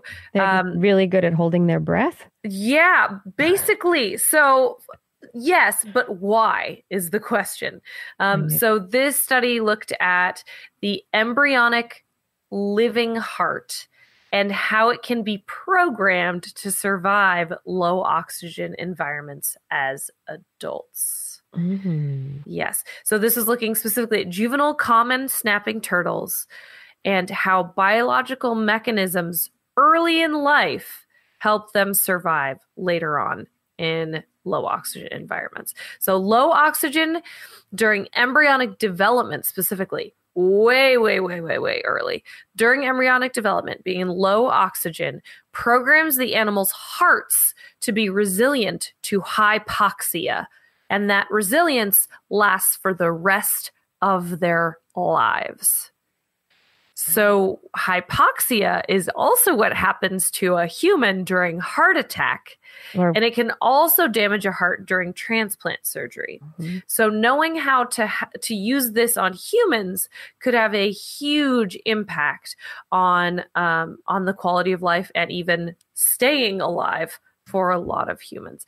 So, um, hypo- hypoxia during development in these turtles actually causes epigenetic changes to the genome. It turns genes on or off that are key to the ability of the turtle to tolerate zero oxygen. So, is it zero oxygen? Are they able to Just really some sort of low. skin absorption? It's really low. The skin absorption isn't really part of it because when you think about um, when you think about you're right. That's a little bit of something, but ultimately it's not enough. It's not enough to completely supplement. But it's a thing turtles can do, which like uh, most non. But it's not- it's not is equivalent that to, like- are an amphibians, yeah no i think that i think that's an important note we know that um, turtles can absorb oxygen through the skin in their anus um, but they it's not like having gills no, no, Yeah. it's certainly not. and it's not like having amphibian skin where your entire body is performing that so it's not enough to supplement Okay. a fully developed heart and circulatory system just with that. So when we've heard of it, it's like when river turtles will go dive for like, you know, an hour. But this is six months. Just six months. This is So this is this is a, a totally different level. Um, so this is uh, looking at the specific epigenetic signatures that help turtles survive in low oxygen environments. Um, they isolated heart muscle cells from juvenile turtles, which lived as embryos in either normal levels of oxygen, which is 21%, or half levels of oxygen, which is 10%. This mimics what happens in nature. So eggs at the bottom of the turtle's nests are more exposed to hypoxia. So some turtles are more used to it than others was what happens as they subjected the juvenile turtles to lower levels of oxygen they measured intracellular calcium which binds the uh, the the proteins in the heart um, in the myofilaments the pH and the reactive oxygen species. So this is a um, reactive oxygen species are molecules which can become toxic when tissue reoxygenates too quickly. So basically, they just monitored all the stuff going on um, inside of their heart.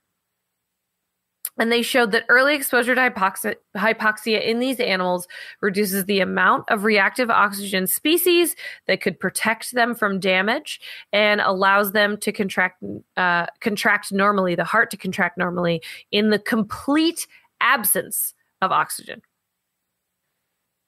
So if we had a drug that was There able to switch Yep. on mechanisms to protect the human heart from oxygen deprivation, that could be huge to humans, Right. especially Americans. That's the number one, right? Cause of death in America is some sort of heart disease. So that would be a pretty significant breakthrough if these turtles could tell us how to even temporarily help with a hypoxic environment in your heart. Yeah. That would be amazing. Oh, Yep. turtles. I love this research for two different levels, though, where it's it, this is just telling us about this really interesting aspect of turtle physiolo- physiological development, right? We're just learning about this is this interesting thing that happens in turtles. But we could learn from it and potentially, if we can turn these things on in our own bodies, it could have similar effects. Yeah. Maybe we can learn from the turtles. Maybe there's something from years back. Oh, but you know what?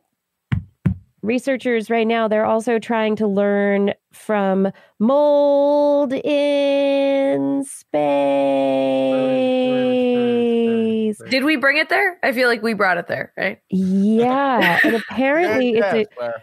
Apparently it is a pretty big problem that uh, mold grows a lot on the International Space Station. And Did Karen leave her sandwich out again? Karen! no, I think Karen may have. Um, yeah, so uh, there apparently there are areas where moisture builds up because you know they have it's all a closed system. If there is any moisture it's going to stay there on the inside not going into the electronics hopefully right? And mold gets into surfaces and can potentially uh, just start growing. And so mold is a big problem on the inside of the space station. It grows on everything. And so researchers decided they wanted to look at some of these species of mold that have grown very well on the space station. And they took a common black mold called Aspergillus niger, grows on the space station very well. And so of course they decided let's let's expose it to radiation. And we want to see how much radiation these things can take. Is mold in space like could it have gone between or could it travel to Mars with us? Could we take Mars, mold to Mars? So, quote unquote, researchers fired stupid amounts of radiation Wait, is at that this mold. so What? stupid amounts? I'm sure, I'm sure it was from an interview, but Okay. yes, this isn't a technical term, but it's stupid amounts. So, um, a there's the the terminology for the measurement of the amount of absorbed radiative energy is called a gray. People get radiation sickness at 0.5 gray. They get killed when they are exposed to 5 gray. These spores of Aspergillus niger survived 500 to 1,000 gray, That's a lot. depending on the type of radiation they were exposed to. They were exposed to a bunch of different kinds of radiation, but they were they survived a whole bunch. They survived large amounts of high energy ultraviolet radiation, which is what Really? is used as hospital disinfectant. Uh, well, oh. and that is used or has been proposed to be used to sterilize the surface of spacecraft. So hold on. What if mold isn't from Earth? mold is from Earth. I mean, it is biologically, genetically, it, it is part of the DNA family tree that we've got going on that goes. But maybe that's the panspermia was Maybe- mold. Maybe mold, if it can survive that, then it, you know, it could could hitch a ride on something and end up here. Yeah. Um, there are, are there are studies Now- that that- so suggest now I'm never going to to to follow to be work in a hood. Uh, biological sa- cabinet that has been used by anybody in the fungal group. Oh no. Because obviously, even leaving the UV light on overnight is not going to do it. yeah. Not going to do it. No. Uh, the researcher who did this work, Marta Cortesão, a microbiologist at the German Aerospace Center in Cologne, and her her uh, she was quoted as saying, "We will have spores with us for sure in our space travels. Fungi have been forgotten for the past 20 or 30 years, but it is time to go back to them." Yes, we need to find out. Uh, yeah, so these uh, there is an older study that says that suggests that mold spores might resist radiation even better in a vacuum. So, hey, not just on the inside of the spacecraft, but on the outside. Yeah, outside. that's that's what I was thinking. Yeah. hmm Yeah. So, anyway, we really need to take a look at the stuff that we may be taking with us. And my last story, quickly for the night, is if you're going to exercise, hey, know that you really are doing something good for your brain. Researchers from Oregon Health Sciences University discovered a gene in mice that gets turned on with exercise and not with like marathon running type exercise, but in what they call a short bout of exercise, something equivalent to about 4,000 steps or a pretty vigorous game of basketball, one on one basketball or something. Um, this gene that got turned on is called MTSS1L. It had previously not stood out in studies in the brain. These researchers, they're like, hey, exercise studies, they look at the body all the time. We want to know what's happening here in the brain. MS, MTSS1L encodes a protein that leads to the development of dendritic spines on neurons in an area of the brain called the hippocampus. Hmm. So, what they think, okay, dendritic spines are the places where synapses form. Good stuff. So, if you have more synapses, you have more connectivity. So, the location of the brain is indicative of what that activity might be related to. The hippocampus is involved in learning and memory. And so, a short burst of exercise might be enough to prime your brain to learn and How short? remember How short? better. Like 4,000 steps, man. Ah, four thousand. Come on. Can we cut it down a little bit? Can A you do game of- that in three minutes? Not three minutes. No, not three minutes. But we're talking like maybe you could do this in like 20 minutes, 15 minutes, 20 minutes. Okay, four thousand. That's a long. Vigorous 20, vigorous 15 to 20 minutes of exercise That's great. could be mile. Turning on your hippocampus, getting those neurons in there, ready for more activity, learning, and memory. It's great. You know, I I do workouts uh, many mornings, and it's usually about twenty five minutes.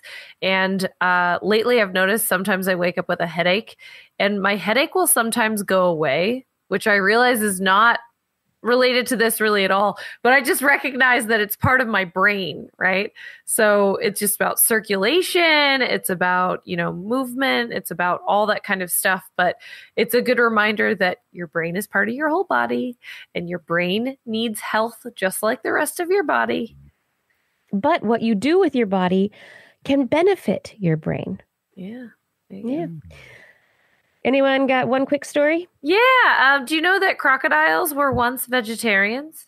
Mm, No. What? Yes. You'd have to go way back about 200 million years. But it turns out new fossils looking at around 146 teeth from 16 crocodiliforms um, looked at by University of Utah identifies yes, these were not just carnivore teeth. These appear to be teeth that ate vegetables. Hmm. Yeah, so um, they were non carnivorous and um, it looks like And now they, They eat babies. and now sh- sure um, but yeah not only that they ate plants occasionally but they were actually herbivorous crocodiliforms so not just eating both but j- eating just plants so this means there are there were lots of different types of crocodilians that were around and um, the meat eaters won out but they weren't always that way. And a team led by Anubhav Jain, Sciences Berkeley Lab in uh, Labs Energy Storage and Distributed Resources Division has collected 3.3 million abstracts of published mili- uh, materials on science papers that have been then fed to an algorithm called Word2Vec. This is taking basically a hundred years. It went back to 1912 up to the current day uh, in a field where a dozen papers or more are filed each week in material sciences and fed them to this thing and had it just read it and see what it could do without specific instructions, uh, uh, without telling it anything about material science. It learned concepts like the periodic table, the crystal structure of metals, said Jain, that hinted at the potential of the technique. But probably the most interesting thing we figured out is you can use this algorithm to address gaps in materials research, things that people should have studied at some point but haven't gotten around to. Uh, the paper establishes that the text mining of scientific literature can uncover hidden knowledge and that pure text based extraction can establish basic scientific knowledge, says Ceder, one of the people that helped on this study. Um, yes, if you read your textbooks, you could learn something. Shouldn't be surprising. Interesting that this robot was able to. They so they put in 3.3 million abstracts. This uh, machine learning read uh, all of this between it was between uh, 1922 and 2018. It came up with not only like could it go back and say pretty good degree of certainty, picked 10 materials that it thought would be good thermoelectric uh, conveyors. And it came up with these 10, some of which we're already working on, some of which we haven't looked at because they're very rare or very toxic, and you know, we maybe haven't considered. So it made some predictions. They said, okay, that's that's close. But then they did something which I find very interesting. They cut off uh, the text that they fed it to the year 2000 to see if it could predict what we discovered since 2000 in the last uh, 18, 19 years. Top predictions uh, turned up, uh, uh, that turned out to be things that were showing up in later studies. Four times more than if the materials had just been chosen at random. For example, three of the top five predictions trained using the data uh, up to the year 2008 have since been discovered, and the remaining two are uh, are things that are, are rare toxic. So Which So with the, what this what this makes me think is, you know, this is great for future, you know, yes, coming up with ideas for future studies because basically people read literature Yes. and they come up with ideas for studies because of what they learn. And so that's what this computer algorithm did is it read a bunch of studies Mhm. and said these are possible things.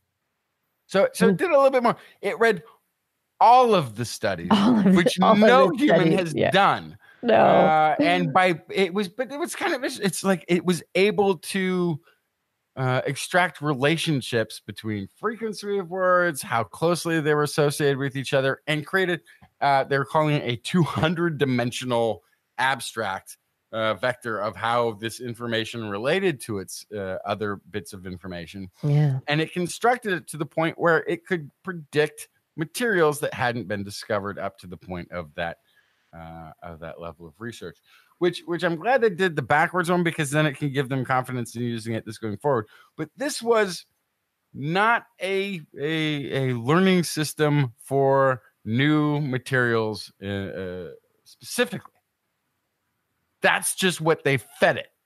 Yeah. which means you could feed this thing uh, potentially any large data set of of science discipline of papers within a as narrow a gap as you know can produce millions of papers having been written on and it could make predictions and it might be able to like give you fill in gaps that nobody has studied yet.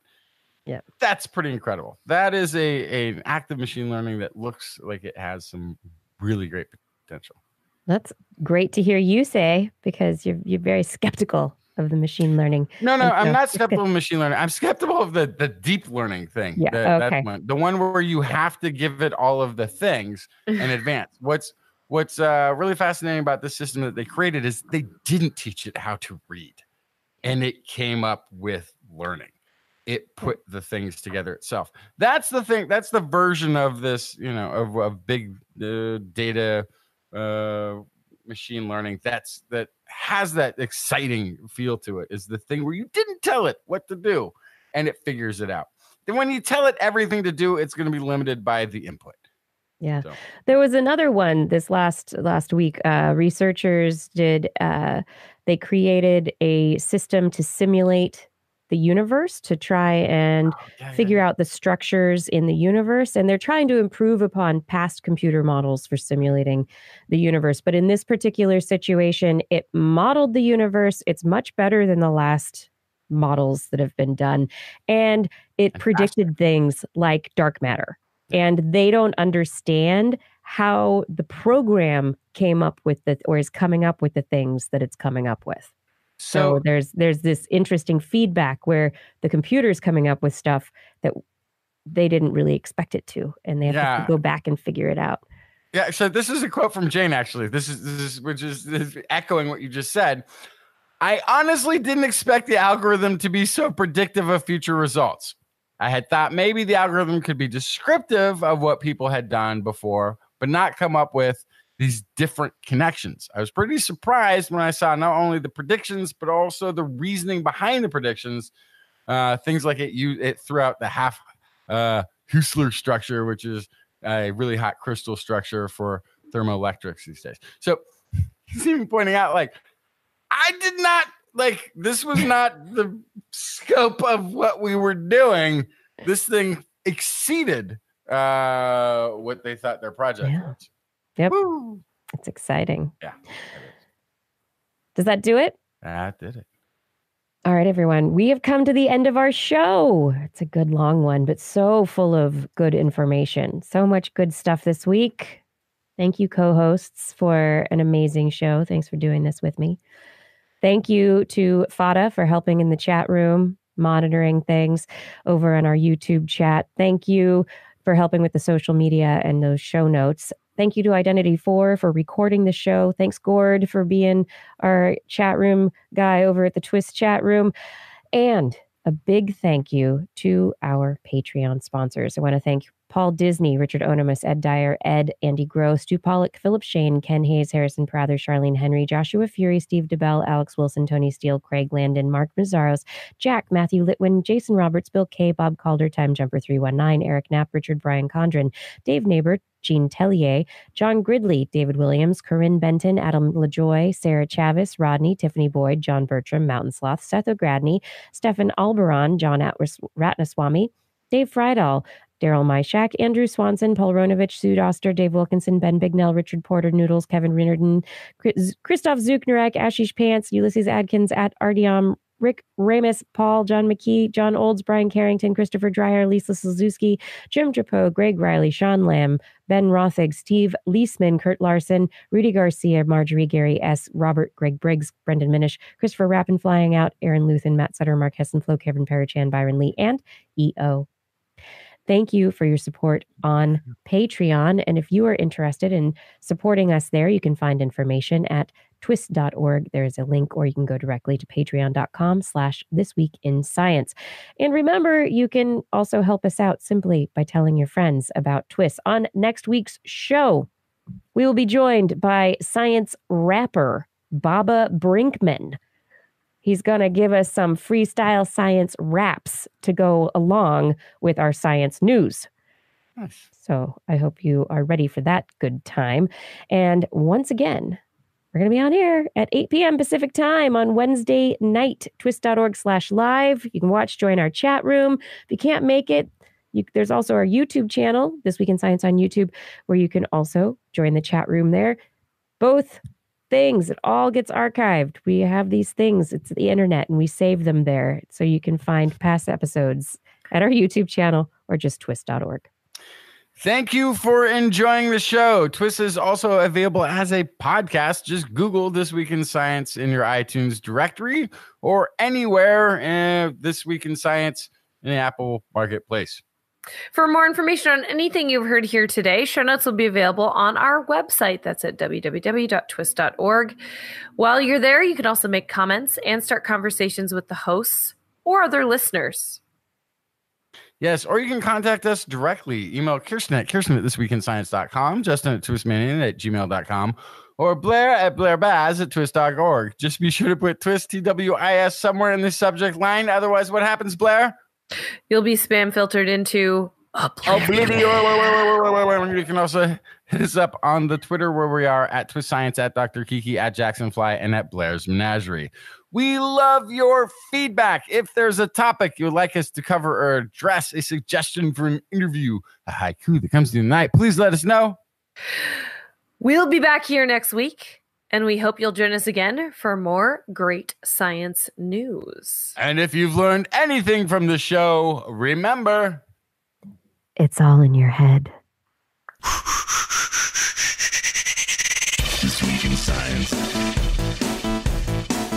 This week in science.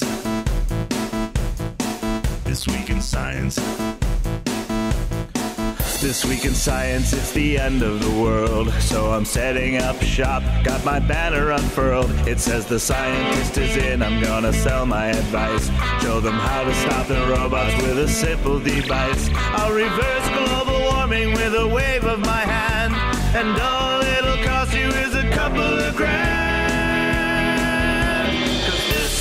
Science is coming your way. So everybody listen to what I say. I use the scientific method for all that it's worth. And I'll broadcast my opinion all over the earth. Cause it's this week in science. This week in science. This week in science. Science. Science. This week in science. This week in science. This week in science. Science. Science. Science. Science. I've got one disclaimer and it shouldn't be news. That what I say may not represent your views, but I've done the calculations and I've got a plan. If you listen to the science, you may just yet understand that we're not trying to threaten your philosophy. We're just trying to save the world from jeopardy. Jeopardy. Jeopardy. And this week in science is coming your way. So everybody listen to everything we say. And if you use our method instead of rolling a die, we may rid the world of toxoplasma gondii. It's this week in science. This week in science. This week in science. Science. Science. Science. science. This week in science. This week in science. This week in science. Science. Science. science. I've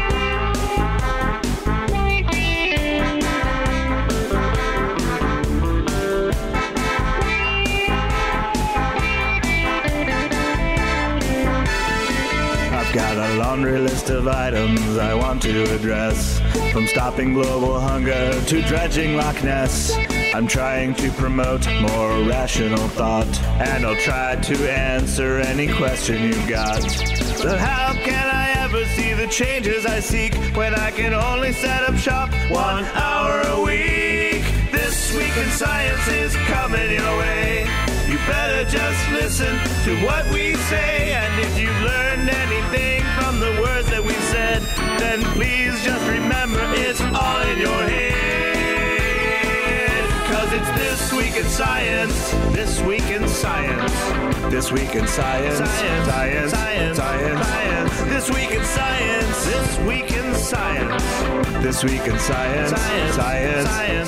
Science. This week in science. This week in science. This week in science. This week in science. This week in science. This week in science. This week in science. This week in science.